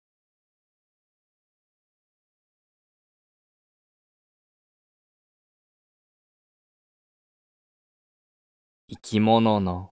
仮眠生き物は生き延びるために環境の変化に応じて休眠することもある。寒い時期は体温を低くして代謝を下げ冬眠するが、暑い夏に夏に眠ると書いて仮眠をする生き物がいる。それはカエルやカタツムリなどの生き物。カタツムリは梅雨の時期によく見かけるが、夜行性のため、雨の日以外は夜に活動する。昼間は乾燥や天敵の鳥類から捕食されるのを防いだりしている。暑さが厳しくなる真夏になると、乾燥を防ぐために土の中で仮眠する。植物の彼岸花も仮眠することが知られている。5月頃に葉は枯れ、夏の高温や乾燥の間は活動を一時停止している。お彼岸の頃になると、地面から茎をぐいぐいと伸ばして花を咲かせるのだ。ハリネズミも仮眠をする。四つ指ハリネズミは冬眠しないが、お腹や体が冷えてくると、動きが著しく弱くなり、時折、痙攣のような様子を見せることがある。これは、低体温の症状である。また、30度以上の暑い季節になると、仮眠したり、熱中症になることもある。仮眠は食べ物が不足する寒気を乗り切るための仕組みのようだ。なお、ペットとして飼育される四つ指ハリネズミは仮眠しない。夏の暑い時期に動きが鈍くなり、餌をあまり食べなくなったりしたときは、仮眠をしているのではなく、熱中症を起こしている可能性がある。ハリネズミを飼うときは、適切な温度管理をしないと死んでしまうため、夏場の環境づくりがとても重要なのである。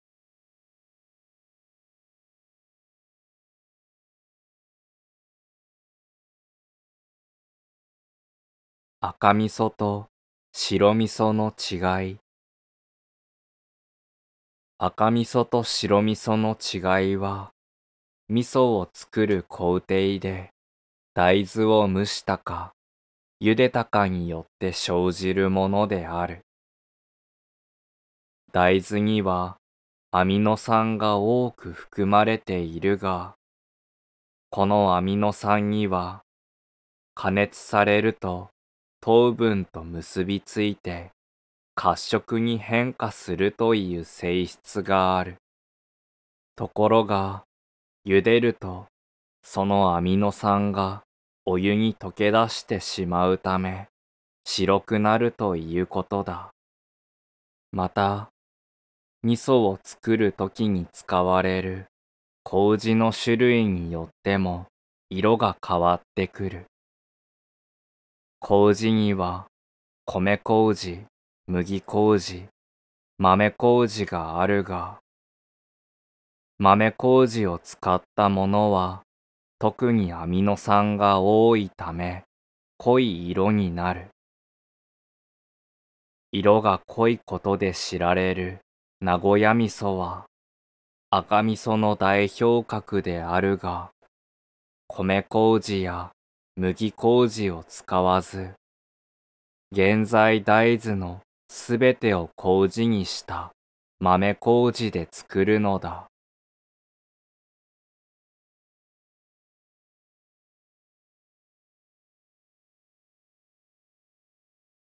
超土級の土とは何なのか。超土級とは大きさや迫力が圧倒的にすごい、抜きん出ているという意味で、土球を超えるときに使われる。土球の土の由来は、1906年に英国で建造された戦艦ドレッドノートの頭文字を当てたものである。土級の戦艦を超えた超土級の戦艦といえば、1912年竣工の英国オライオン級戦艦である。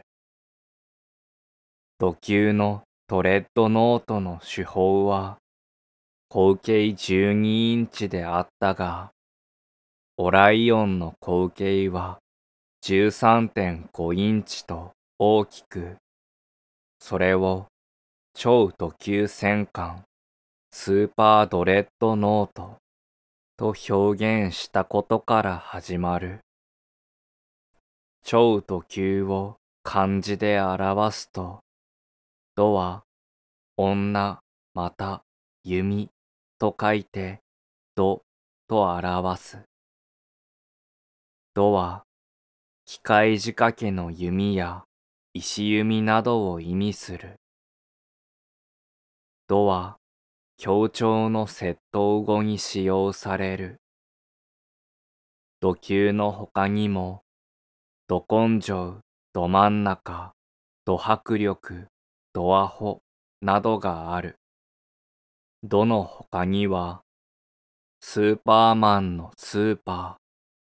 ー、ウルトラマンのウルトラなどがある。ちなみに、ドレッドノートを超える戦艦を超特急、さらに超える戦艦を超超特急や超超超特急という。超超特急は15インチから16インチ。超超超特急は18インチを超えるものである。日本初の超土級戦艦は、英国ピッカース社に発注献艦した混合である。超超超土級戦艦は大和型戦艦である。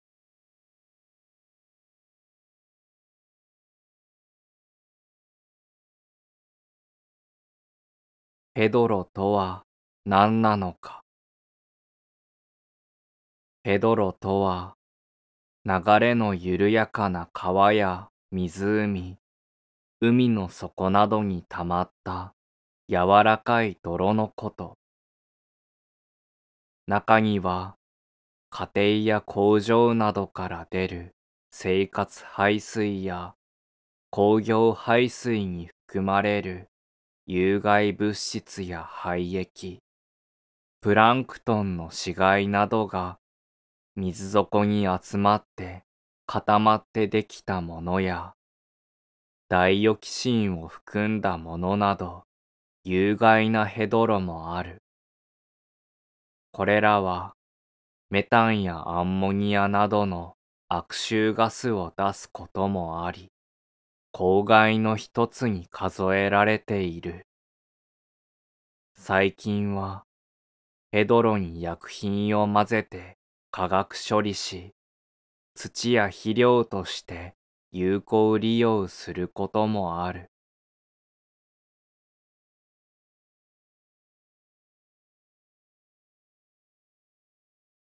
風邪をひくとリンパ腺が腫れる理由風邪をひいて喉が痛くなると顎の下のリンパ腺が腫れることがあるリンパ腺は医学的にはリンパ節という。腺というのは乳腺や唾液腺のように体液を分泌している器官のことを言うが、リンパ節は何も分泌していないため、線とは呼ばない。リンパ節は、リンパ管のところどころが膨らみ、蜂の巣のようになったものである。ここでは、白血球が多量に作られ、貯蔵されている。風邪をひいて、体外から風の菌が入ってきて喉にくっつくと、血管から白血球が出てきて菌を食い殺す。この死んだ菌は海となり、痰として体外に排出される。この時、生き残った菌はリンパ管に入ってリンパ節にまで進出し、そこで待ち受けていた白血球と熾烈な戦いが繰り広げられる。そのためにリンパ節が腫れて、外から触ってもわかるほどの塊になるのだ。ちなみに、リンパ管に入ってくるのは病原菌だけでなく腫瘍細胞もある。リンパ節で食い止められなかった腫瘍細胞はリンパ管を流れて他の臓器に達しそこで増殖する。これが癌の転移と言われる現象である。そのため、風邪をひいたわけではなく、どこにも炎症を起こしていないのに、リンパ節が腫れた場合には、用心して病院に行った方が良いのだ。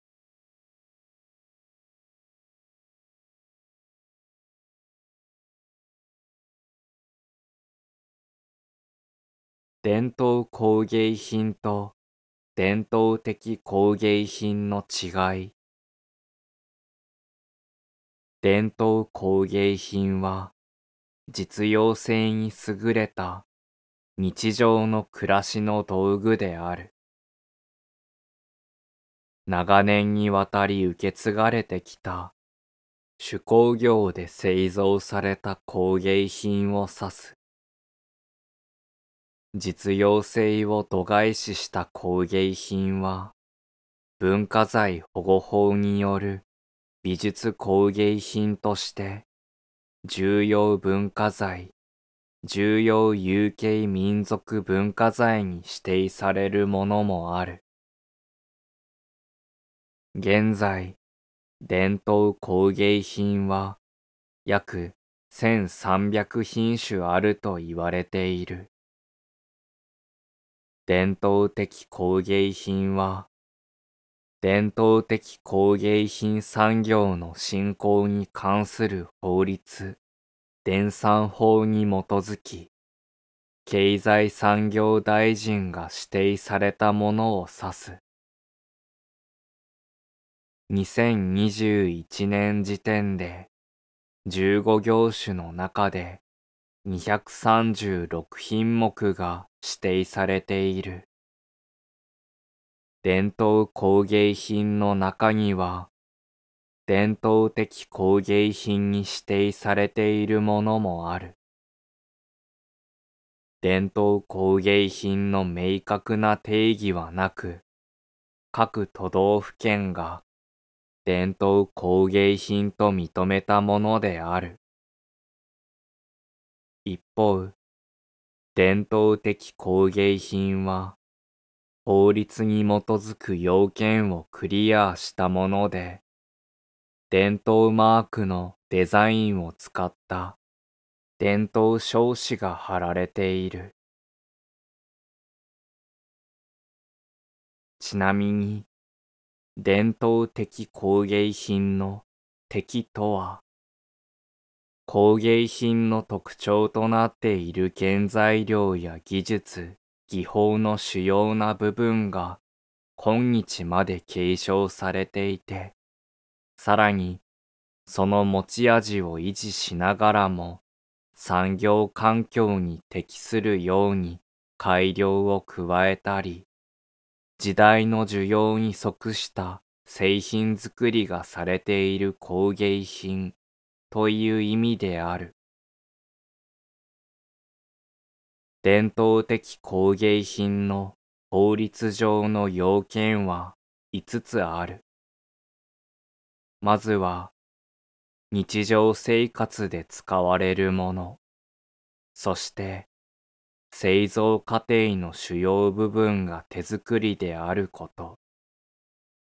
伝統的技術または技法によって製造されること、伝統的に使用されてきた原材料が使われていること、一定の地域で産地を形成していることである。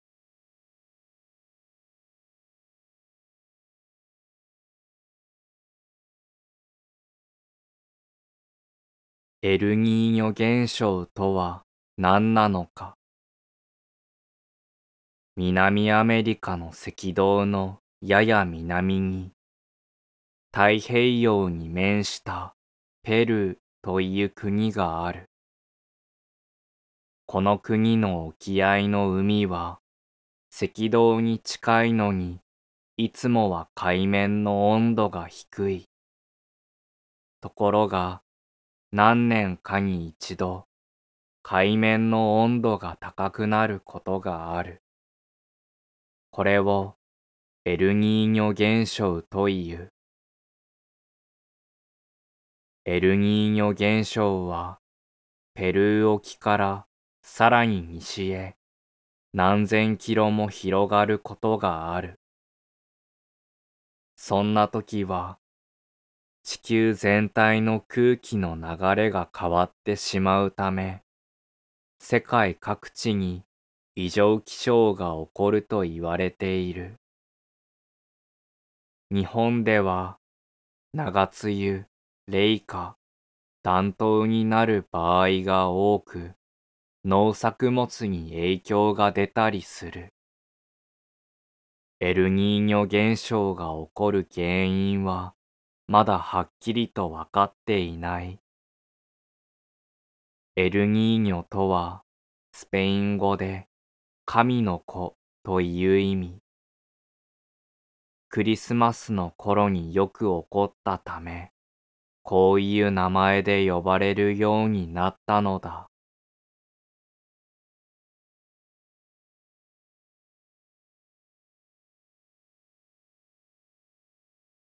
曇らない鏡は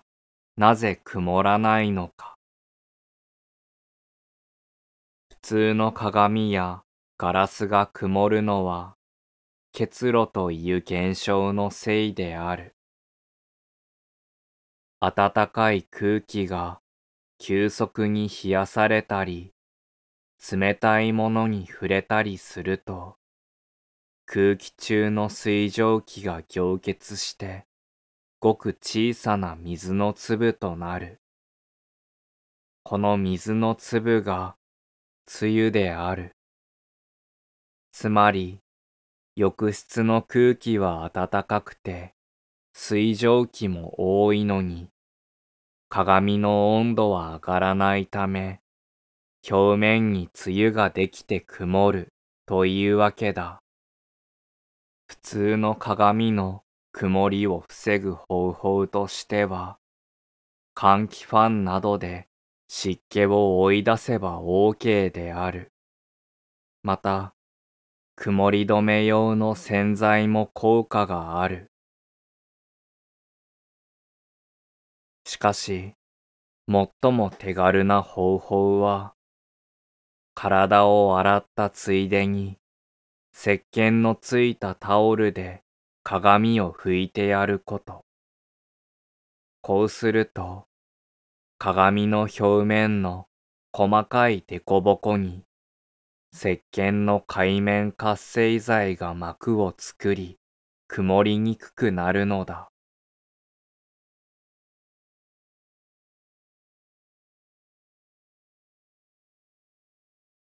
秘密のアッコちゃんの変身の時の呪文、テクマクマヤコンは、実は原作にはなかった。赤塚不二夫の少女漫画、秘密のアッコちゃんのアッコちゃんが変身するとき、テクマクマヤコン、元に戻るとき、ラミパスラミパスという呪文を唱える。この二つの呪文は、第一回のアニメ化の際に新たに考えられたもので、原作にはなかった。では、漫画の中でアッコちゃんはそれまで変身するときにどのような言葉を唱えていたのか。秘密のアッコちゃんの連載が始まった当初は、アッコちゃんはなりたいものを逆さ言葉にしてつぶやいていた。なりたいものが看護師さんであれば、んさしごんかになーれ。不敬さんであれば、んさいけふになーれといった具合である。しかし、アニメ放送がスタートし、呪文が使われるようになってからは、いわば逆輸入のような形で、漫画の中においても、テクマクマヤコンとラミパスラミパスが使われるようになったのだ。ちなみに、アッコちゃんの飼い猫、しっぽなであるが、この名前もまた原作にはなく、アニメ化の際に考えられたものである。この名前はどこから来たのか。彼女が飼っている白いメス猫は、実はアッコちゃんが生まれる前からアッコ家に住んでいた。また、国際航路の船長であるアッコちゃんの父は、もともとこの猫のことをシップオーナーと呼んでいた。このしっぽなという名前は、シップオーナーを縮めて作られた言葉である。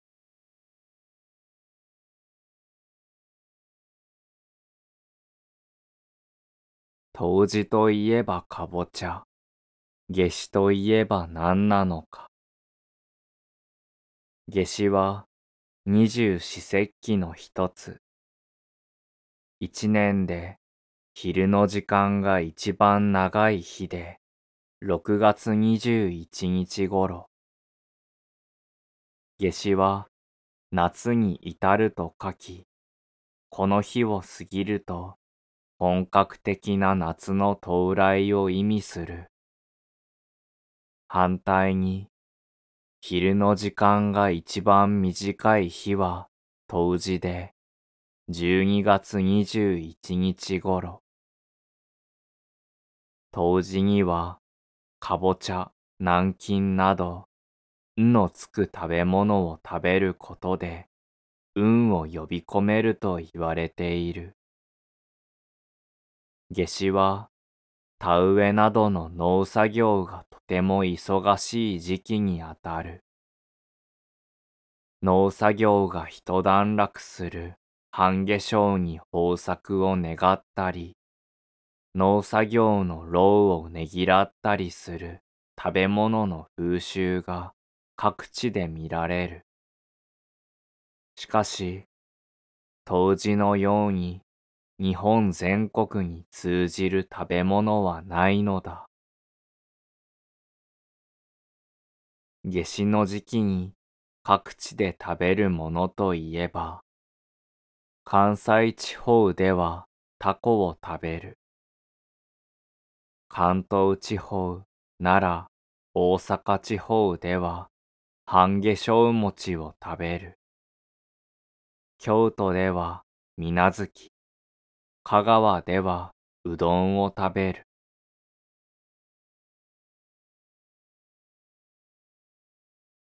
頭をカツッとぶつけると、たんこぶができるのはなぜなのか。柱などに頭をカツッとぶつけたりすると、その部分がぼこっと膨らみ、たんこぶができる。が、体の他の部分をぶつけた場合、通常、このような極端な膨らみ方はしない。人間の体は何かにぶつかったりぶつけられたりすると、皮膚の下の血管が破れて血液がたまることがある。この時、お尻などの体の柔らかい部分の場合には、あまり外には膨らまないが、頭など硬い部分をぶつけて内出血すると、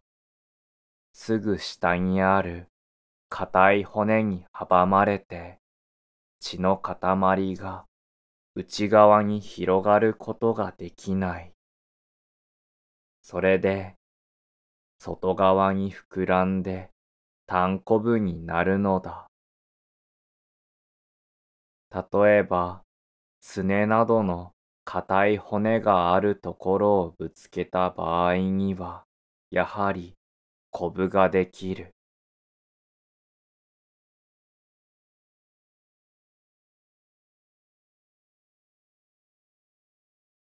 皇族には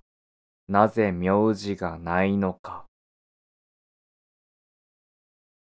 金城天皇のお名前は広宮で、皇后陛下は雅子である。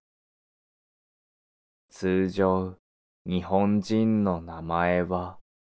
名字プラス名前となっているが、両陛下ともお名前に性にあたる部分がない。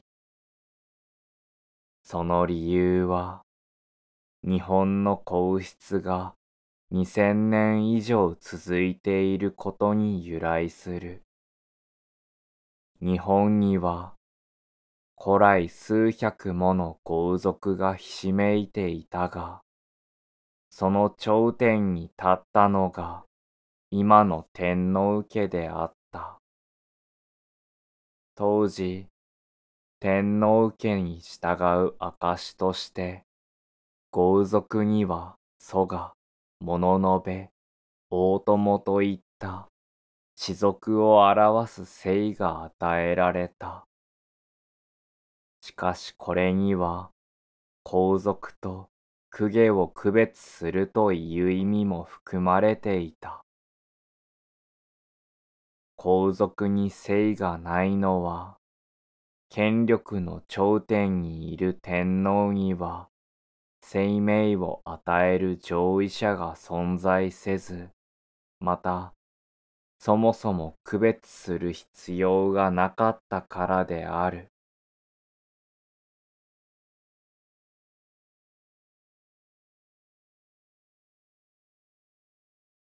孫の手の語源手が届かない背中のかゆいところを書くのに便利な孫の手。特別金持ちでなくとも手の届く値段で買える文字通りかゆいところに手が届く商品である。孫の手という言葉は中国の伝説新宣伝に登場する仙女、巫女に由来する。巫女は五漢の官邸の時代に小予算で仙道を習得した十八、十九歳の若く美しい仙女であった。そして彼女の爪は鳥のように長くこの爪で背中をかいてもらうと、とても気持ちが良かったという。この逸話が日本に伝わり、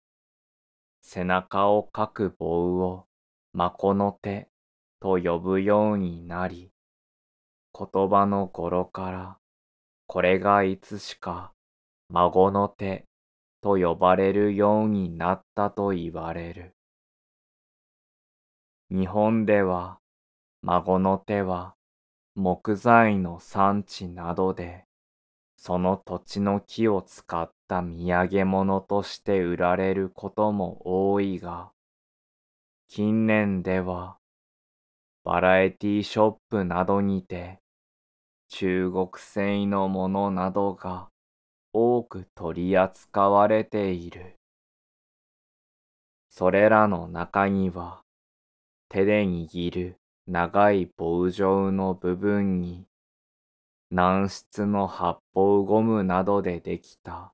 ゴルフボールのような形をした部品を取り付け、肩叩きと兼用になっているものや、靴べら兼用になっているものなどがある。いずれも多くは数百円程度と安価で、近年では実用的なバラエティグッズといった意味を持つものも存在する。同様のものは世界各国で見られる。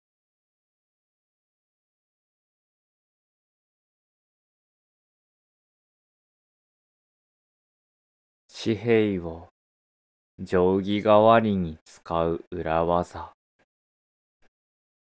外出先やお店などで定規を持たないために物の長さが測れず困った経験はあるだろうか。そんな時、財布の中に入っている硬貨や紙幣を使えば長さを測ることができる。まず硬貨だが、一円玉は直径が2センチ、五円玉の穴の直径が5ミリ。紙幣は千円札の横幅が15センチ、一万円札の横幅が16センチである。ということは、千円札を三つに折れば五センチになるし、一万円札を二つに折れば八センチ、四つに折れば四センチになる。また、千円札と一万円札を片側を揃えて並べれば、その差は1センチとなる。これだけでも5ミリ、1センチ、2センチ、4センチ、8センチ、15センチ、16センチの長さがぴったりと測れるのだ。ちなみに、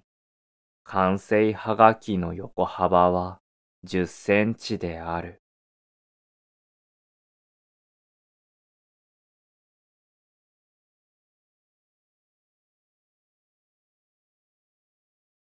ゴルフボールはツルツルだと飛距離が伸びない。ゴルフボールの表面にあるたくさんのくぼみ。これはディンプルと呼ばれている。それではこのくぼみは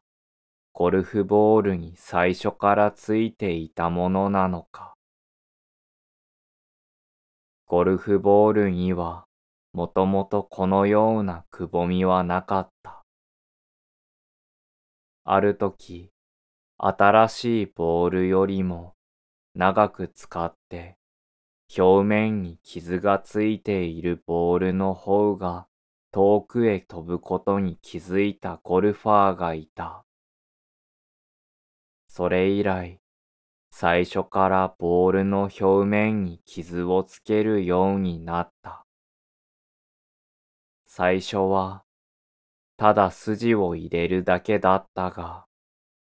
縦横に筋を入れてメッシュ模様となり、さらには凹凸をつけるようになった。これがディンプルの始まりである。トップクラスのプロゴルファーは、ゴルフボールをドライバーを用いて300ヤードくらいの距離を優に飛ばすことができる。しかし、もしもこの時、ディンプルのないボールを使ったのならば、飛距離はその半分くらいに落ちてしまうという。ゴルファーの経験則から生まれたディンプル。このディンプルには凄まじい効果があるのだ。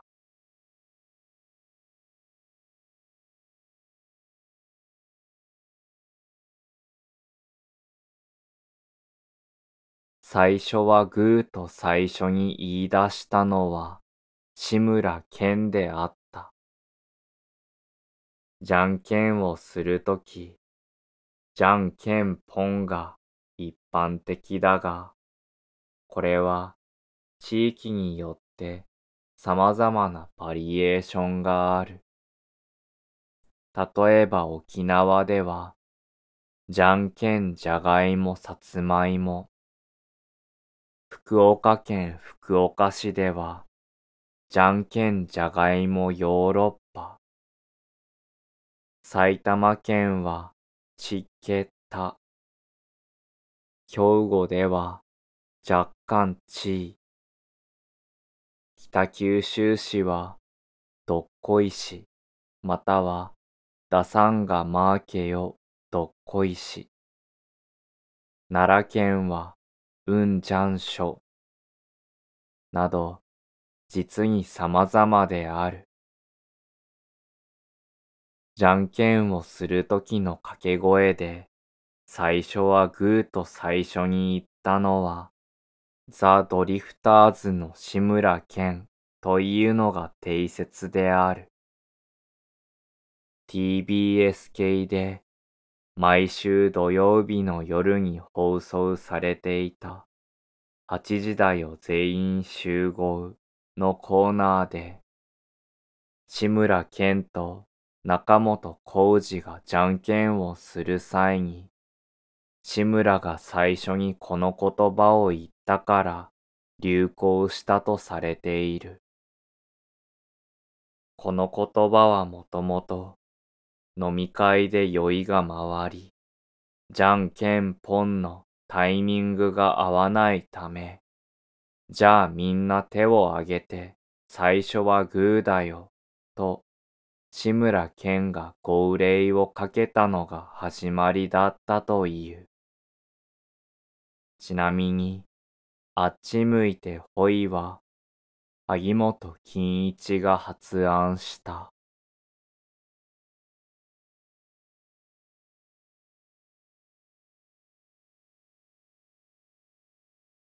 アディダスとプーマは兄弟喧嘩から生まれた。今やスポーツ用品の世界的ブランドアディダスとプーマはどちらもドイツ生まれの会社。実はこの二つの会社はかつてダスラー兄弟商会という一つの会社であった。ダスラー兄弟商会は1920年に兄ルドルフ、弟アドルフのダスラー兄弟によって創業された運動靴を売る会社であったが、第二次世界大戦後、この会社のことをめぐって二人は大喧嘩をしている。その結果、1948年に販売担当の兄ルドルフは独立し、プーマを、弟のアドルフはアディダスをそれぞれ設立することになったのだ。ちなみに、アディダスという社名は、アドルフのニックネームのアディと、名字のダスラーを組み合わせたものである。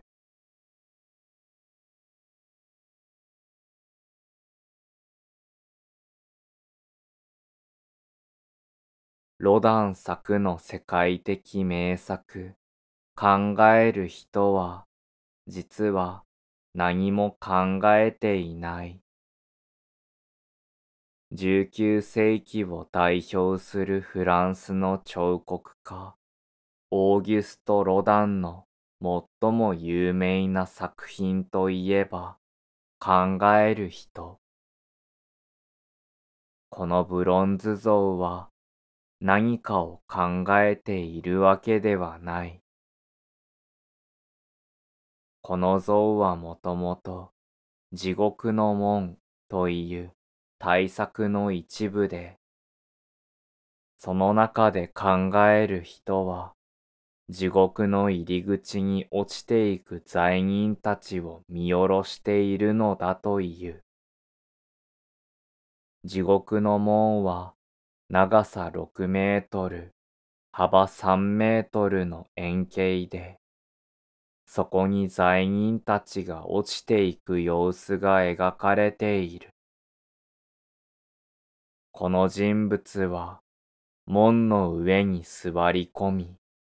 罪を犯した人間たちの運命を観察しているのだ。つまり、彫刻のこの人物は考えているのではなく、見ているのだ。ということは、考える人というよりも、観察する人の方が、この像を正しく表していると言える。そもそもこの考える人というタイトルは、ロダン本人がつけたものではなく、ロダンの死後、鋳造家リュディリエがつけたものである。1888年にこの像が地獄の門から切り離され、デンマークのコペンハーゲンで初公開された時のタイトルは詩人であった。しかし、次の発表時には、詩人考える人になったのだという。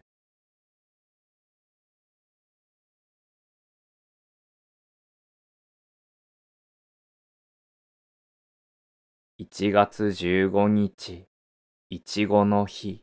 といえば何なのか。全国いちご消費拡大協議会が1月15日をいいいちごの語呂合わせから制定したのが始まりである。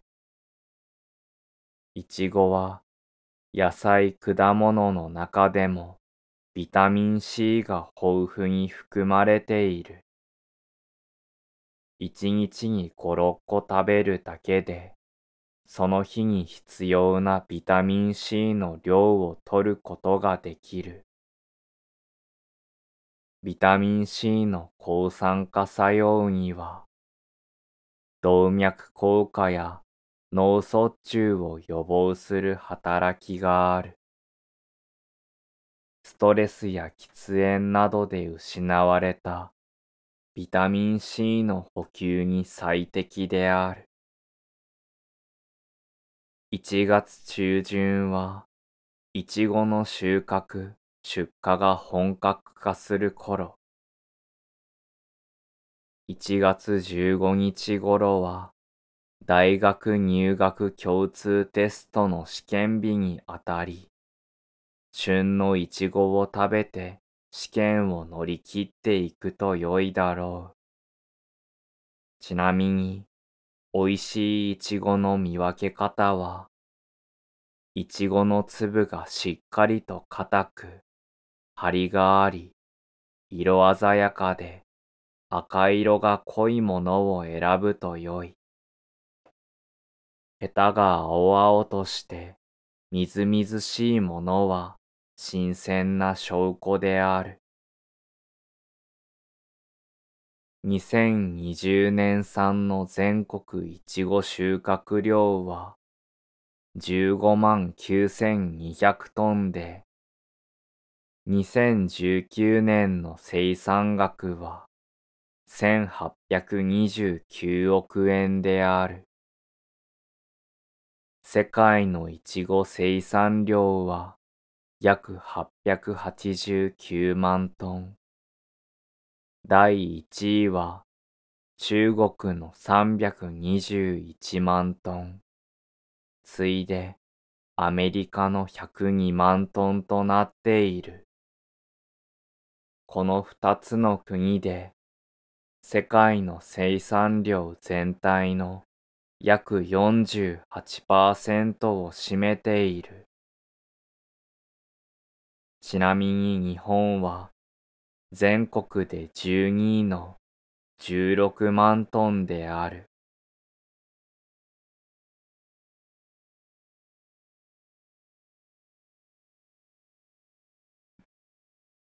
宇宙に行くと身長が伸びる。人間の背骨は頸椎7本、胸椎12本、腰椎5本の合計24本の骨が軟骨をクッションにしてつながっている。そして身長を測定する際には通常直立した姿勢で行うが地球上には重力があるため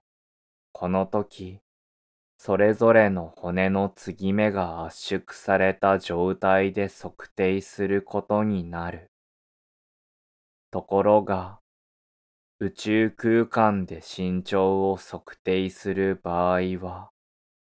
宇宙には重力がないため、骨の継ぎ目が圧縮されない。その結果、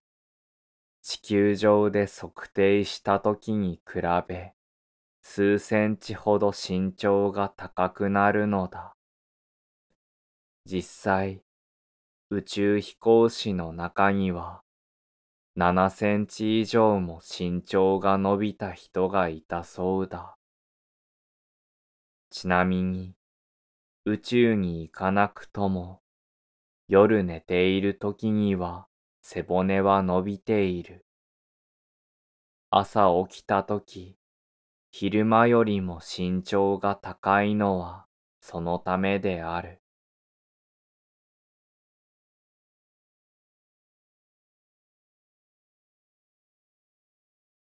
混ぜるな危険は何がどう危険なのか。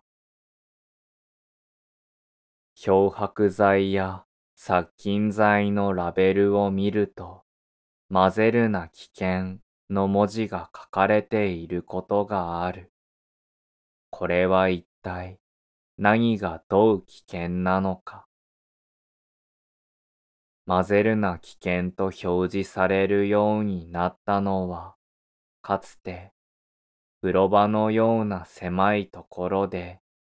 洗剤と漂白剤が混ざることで発生した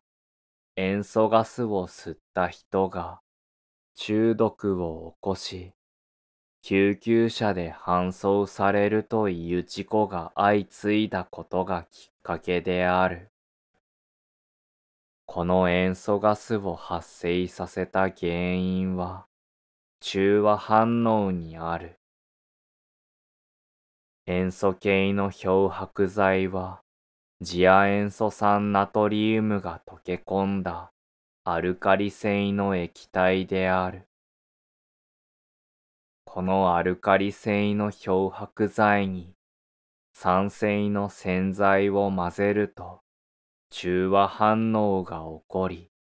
塩素ガスが発生する。こうして発生した塩素ガスは大量に吸い込むと目や呼吸器に悪影響を及ぼす。最悪の場合、死に至ることもある。くれぐれも注意したいところだ。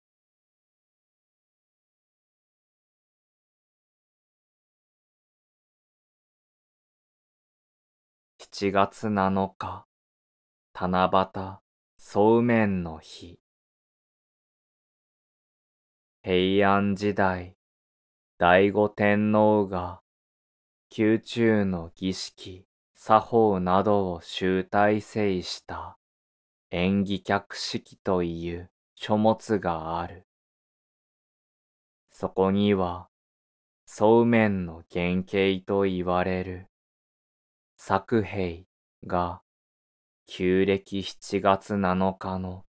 宮中の七夕の儀式に供え物の一つに備えられたと記述されている。作兵とは奈良時代に中国から伝来した唐菓子の一つで縄のように編んだ小麦のお菓子である。縄状の形状より麦縄とも呼ばれる。中国で作とは太い縄を意味し、餅は小麦粉と米粉を混ぜ合わせた食べ物である。中国の昔、7月7日に皇帝の子供が亡くなり、その後に熱病が流行った。これに困り、病よけとして子供の好物であった作兵を備えると、再び平穏な日々が訪れたことから、作兵を食べるようになったと言われている。7月7日に作兵を食べると、一年間無病息災で過ごせるということで、七夕の行事食となった。7月7日の七夕では、竿だけに短冊を飾りつける七夕飾りがある。その短冊には、願い事を書いて成就を祈る。小麦粉は毒を消すと言われ、そうめんを短冊に見立て、健康を願って食べたと言われている。乾麺メーカーの団体、全国乾麺協同組合連合会は、1987年から7月7日の七夕の行事食にちなんで、そうめんの日と定めて普及に取り組んでいる。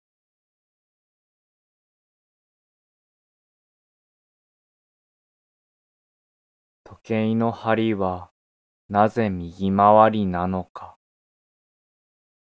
腕時計、置き時計、鳩時計、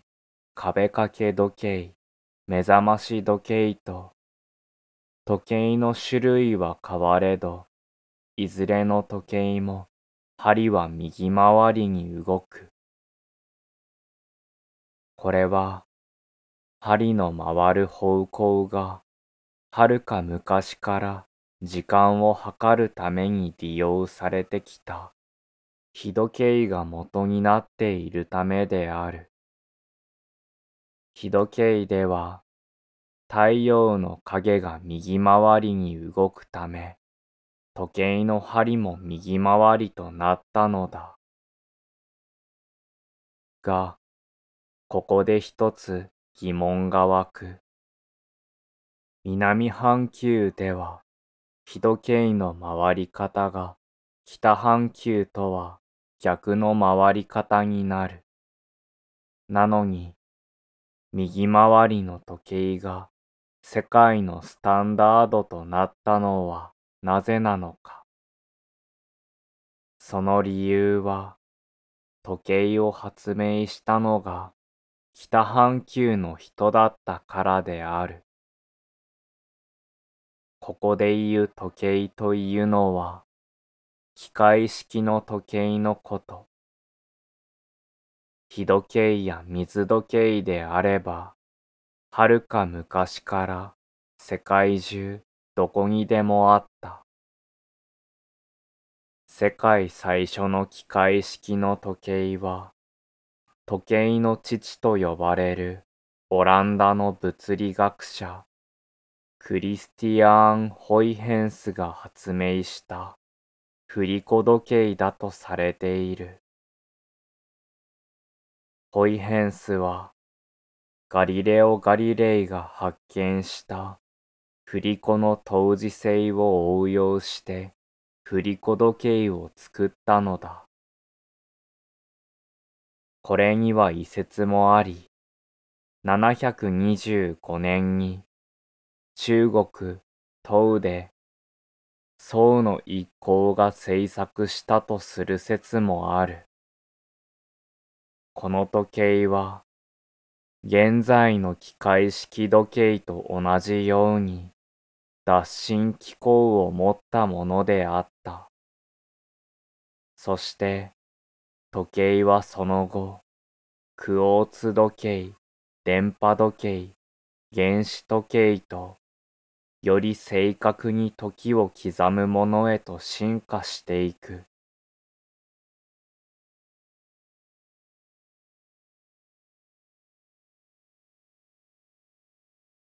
草津温泉の草津は臭かったから。草津の発音は現在草津であるが、古くは濁った草津と呼ばれ、中世には草津の前に数字の9がついて草津、草に生えるにつで草津、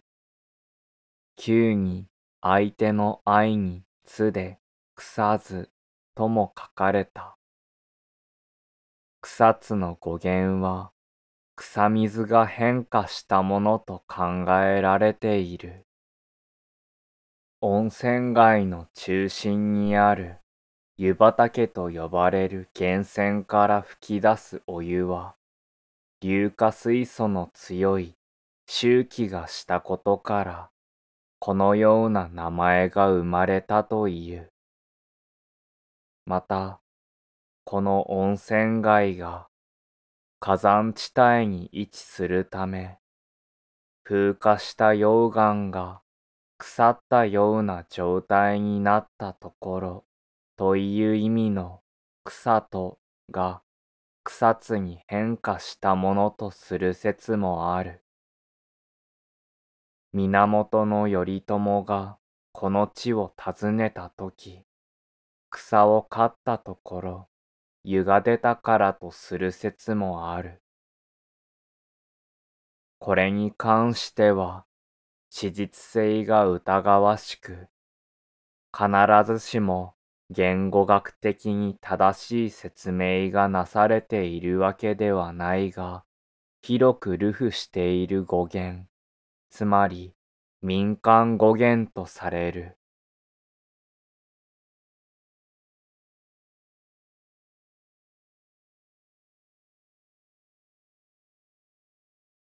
くしゃみは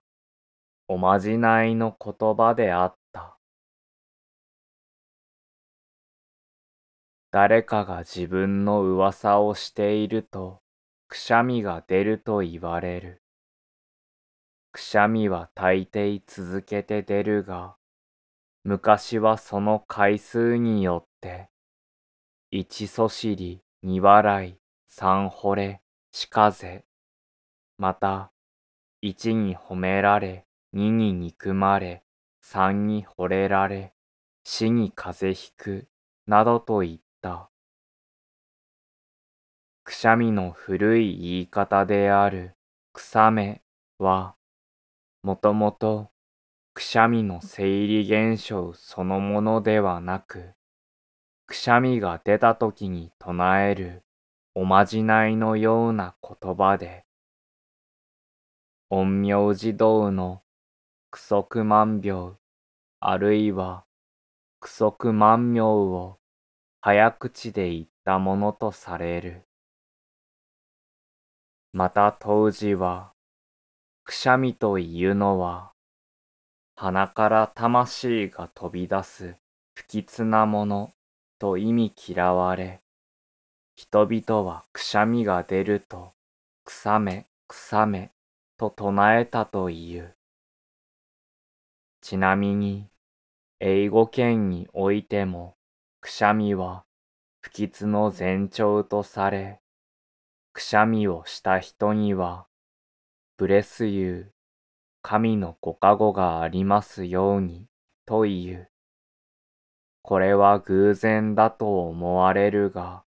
不思議な類似点である。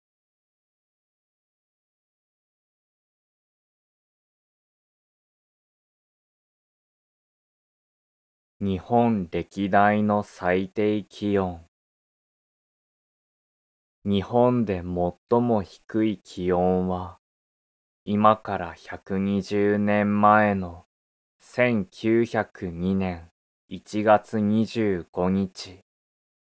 北海道の旭川市で観測されたマイナス41度である。旭川市は北海道の中央部にある上川盆地に位置する北海道第2位の都市である。ちなみに、旭川市の最高気温は2021年8月7日に37.9度が観測されている。温度の寒暖差はなんと78.9度。歴代の最低気温は北海道が多くを占めているが、その中でも静岡県で観測された富士山のマイナス38度が第4位である。富士山は日中の最高気温の中で日本で最も低い気温のマイナス32度を記録している。世界で最も低い気温といえば、1983年7月21日、南極大陸にあるボストーク基地で観測されたマイナス89.2度である。人工衛星から南極大陸の地表面温度の測定データでは、2016年に一番低いマイナス110.9度が観測されている。南極は人間が住むにはとても厳しい環境である。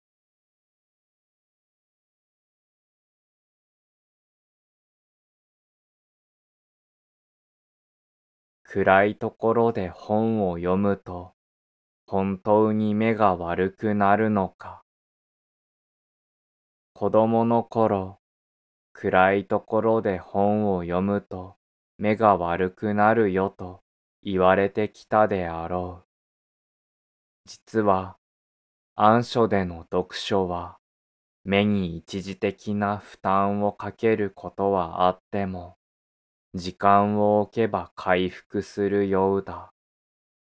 そのため、これが視力低下の原因につながるという医学的根拠はないのだという。しかし、目の疲れは頭痛や肩こりなどを引き起こすことがある。そうした意味で、暗い場所での読書はやはり避けた方が賢明のように思われる。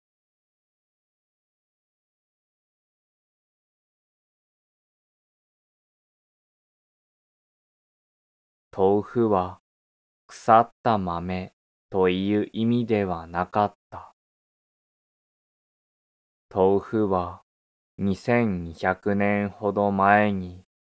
中国のワイナン王が発明したものと伝えられている。日本に入ってきたのは奈良時代のことで、中国に留学した僧によって伝えられた。そのため、その名称も中国のものである。中国語で腐るという文字、風は、ぶよぶよしたものという意味がある。豆腐は豆が腐っているから豆腐となったのではなく、ぶよぶよしているところから豆腐と名付けられたのだ。豆腐は最初は貴族階級や仏に仕える僧侶たちの精進料理として使われる程度であった。広く普及するようになったのは、意外にも茶道の発達によるものであった。室町時代に茶道が起こり、武士階級のたしなみで普及していくにつれ、精進料理を基盤とした懐石料理が発達。これをきっかけに、豆腐は次第に一般庶民の間にも広がっていった。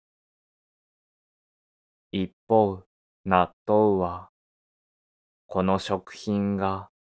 寺の台所にあたる納書で作られていたことに由来する。つまり、寺の納書の豆を意味する。こちらは、日本生まれの名称である。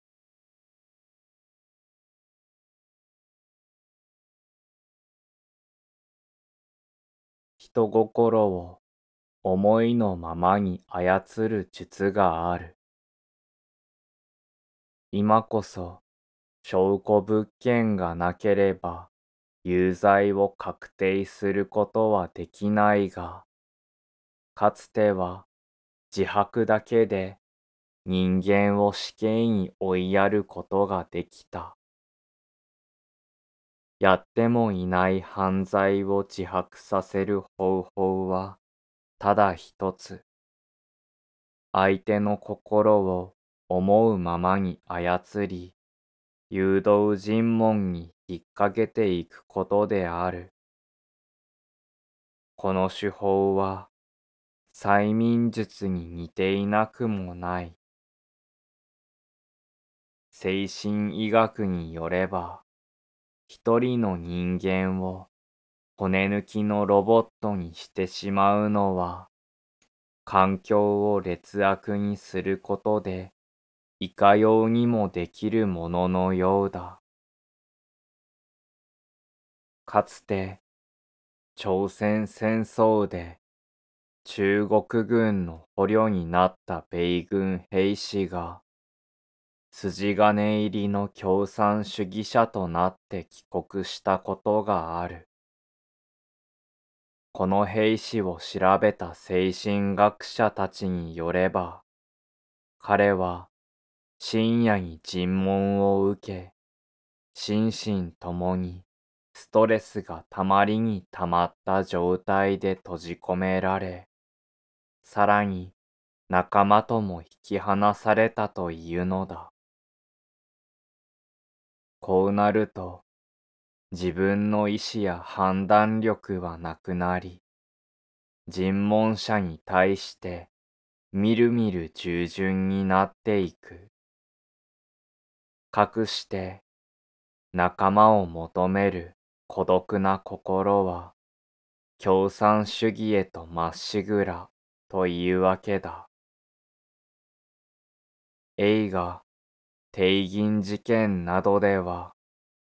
密室の中で延々と尋問を受ける容疑者の姿が出てくる。睡眠不足や疲れがたまり、自分では何も考えられなくなったところで誘導尋問が始まる。そしてやがて警察がでっち上げた設定通りの自白が始まるのだ。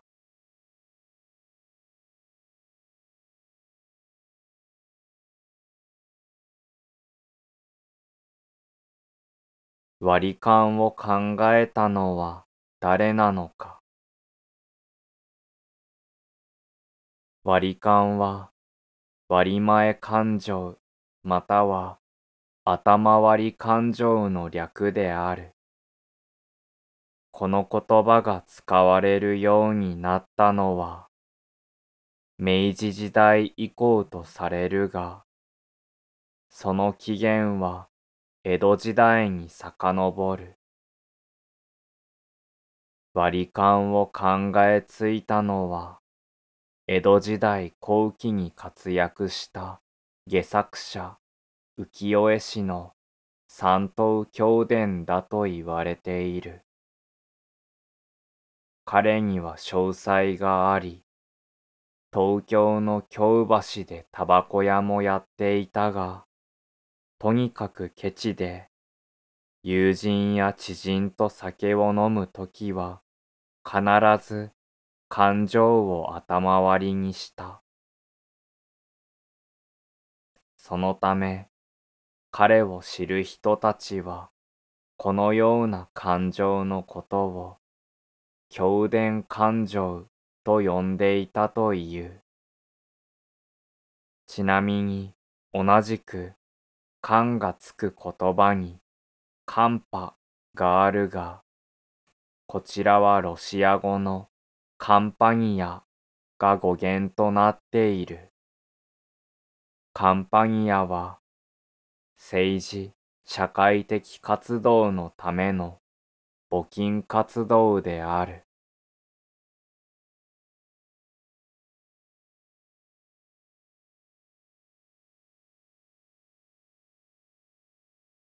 ドラえもんはもともと黄色かった。ドラえもんは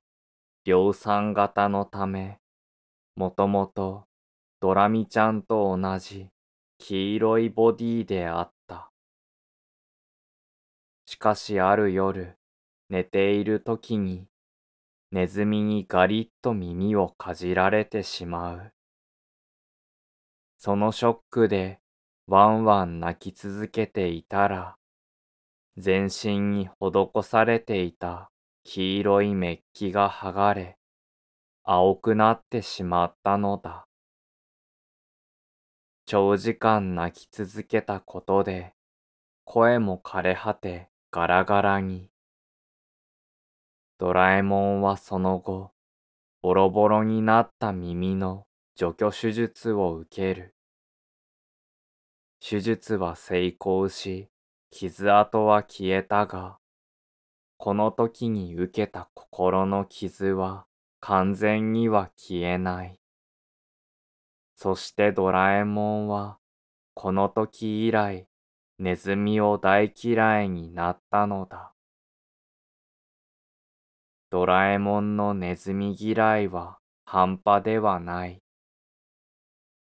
実際、ドラえもんが持っているネズミ撃退グッズは地球破壊爆弾、ジャンボガン、熱線銃と、間違って使ってしまったら大変なことになる恐ろしい道具ばかりである。藤子 F 不二雄は、話の特集1984年11月号の中で、ドラえもんのこのような異常なネズミ嫌いは奥さんがモデルであると語っている。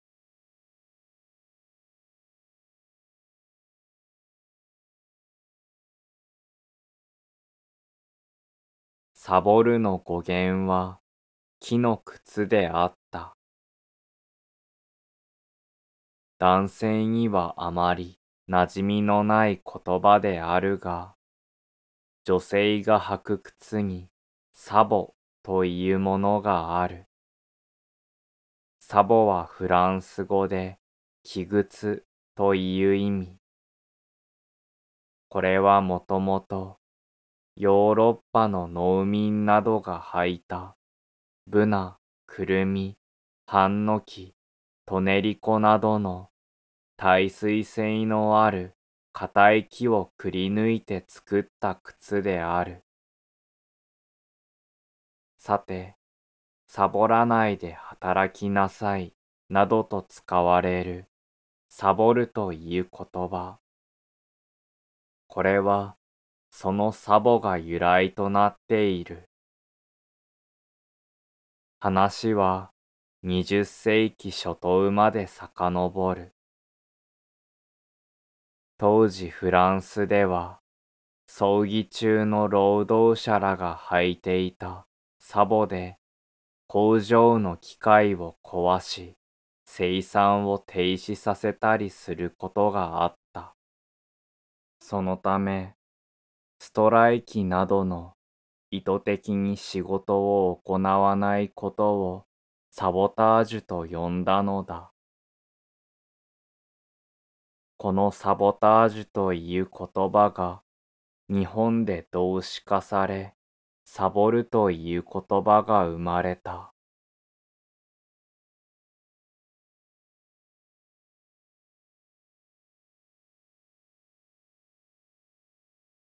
お年玉を入れる袋はなぜポチ袋というのか。除夜の鐘が鳴り終わるとお正月。お正月を迎え、子供たちが待ち焦がれているものはお年玉。しかし最近では、お金を入れて渡す袋をお年玉袋ではなく、ポチ袋と呼ぶ人が増えてきている。このポチというのは一体どこから来たのか。ポチ袋のポチは関西弁のぼちぼちに由来する言葉である。祝儀袋ほどの大げさなものではなく、料亭で働く人にお客が感謝の意味を込めて気軽に少額のお金を渡す際に入れる袋として明治時代に生み出されたのがこの袋である。ぼちぼちは少しだけという意味。ポチの語源に関しては他にフランス語のプチから来ているという説や統治から来ているとする説もある。しかし江戸時代には、すでにポチ袋と呼ばれていたという記述があるため、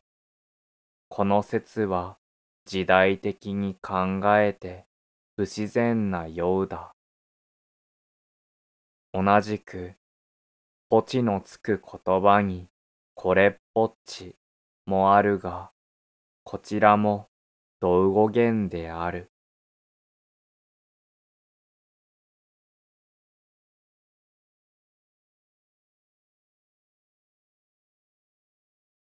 NHK 紅白歌合戦で最後に出演する歌手を鳥と呼ぶのはなぜなのか。その争いが意識されるようになったのは、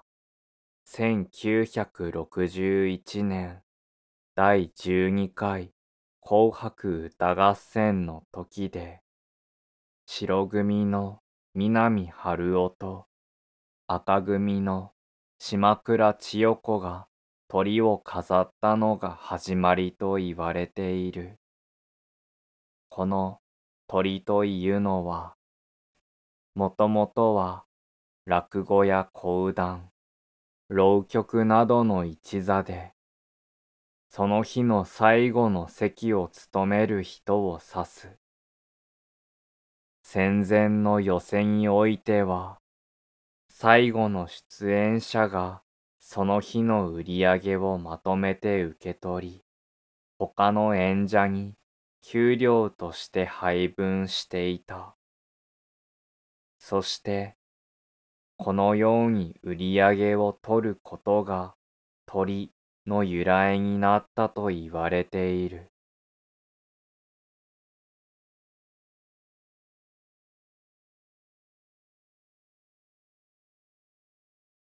海苔を売る店でお茶も扱っているのはなぜなのか。不思議なことに海苔を専門に扱っているお店に行くと、大抵はお茶も置いてある。海苔とお茶という、まるで関連性がなさそうな商品なのに、この二つが一緒に売られているのはなぜなのか。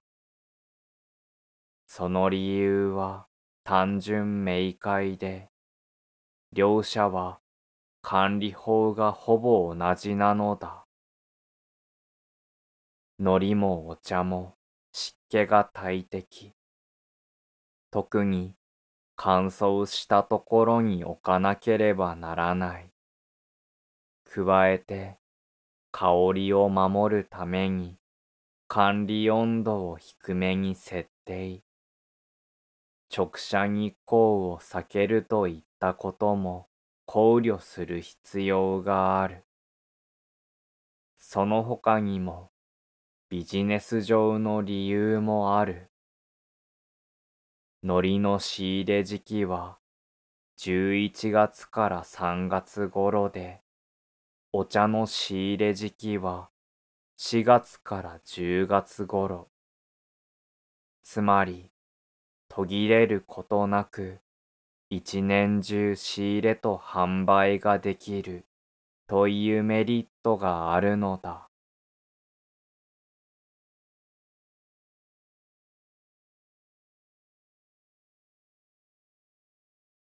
学問の神様、菅原道真は、実は、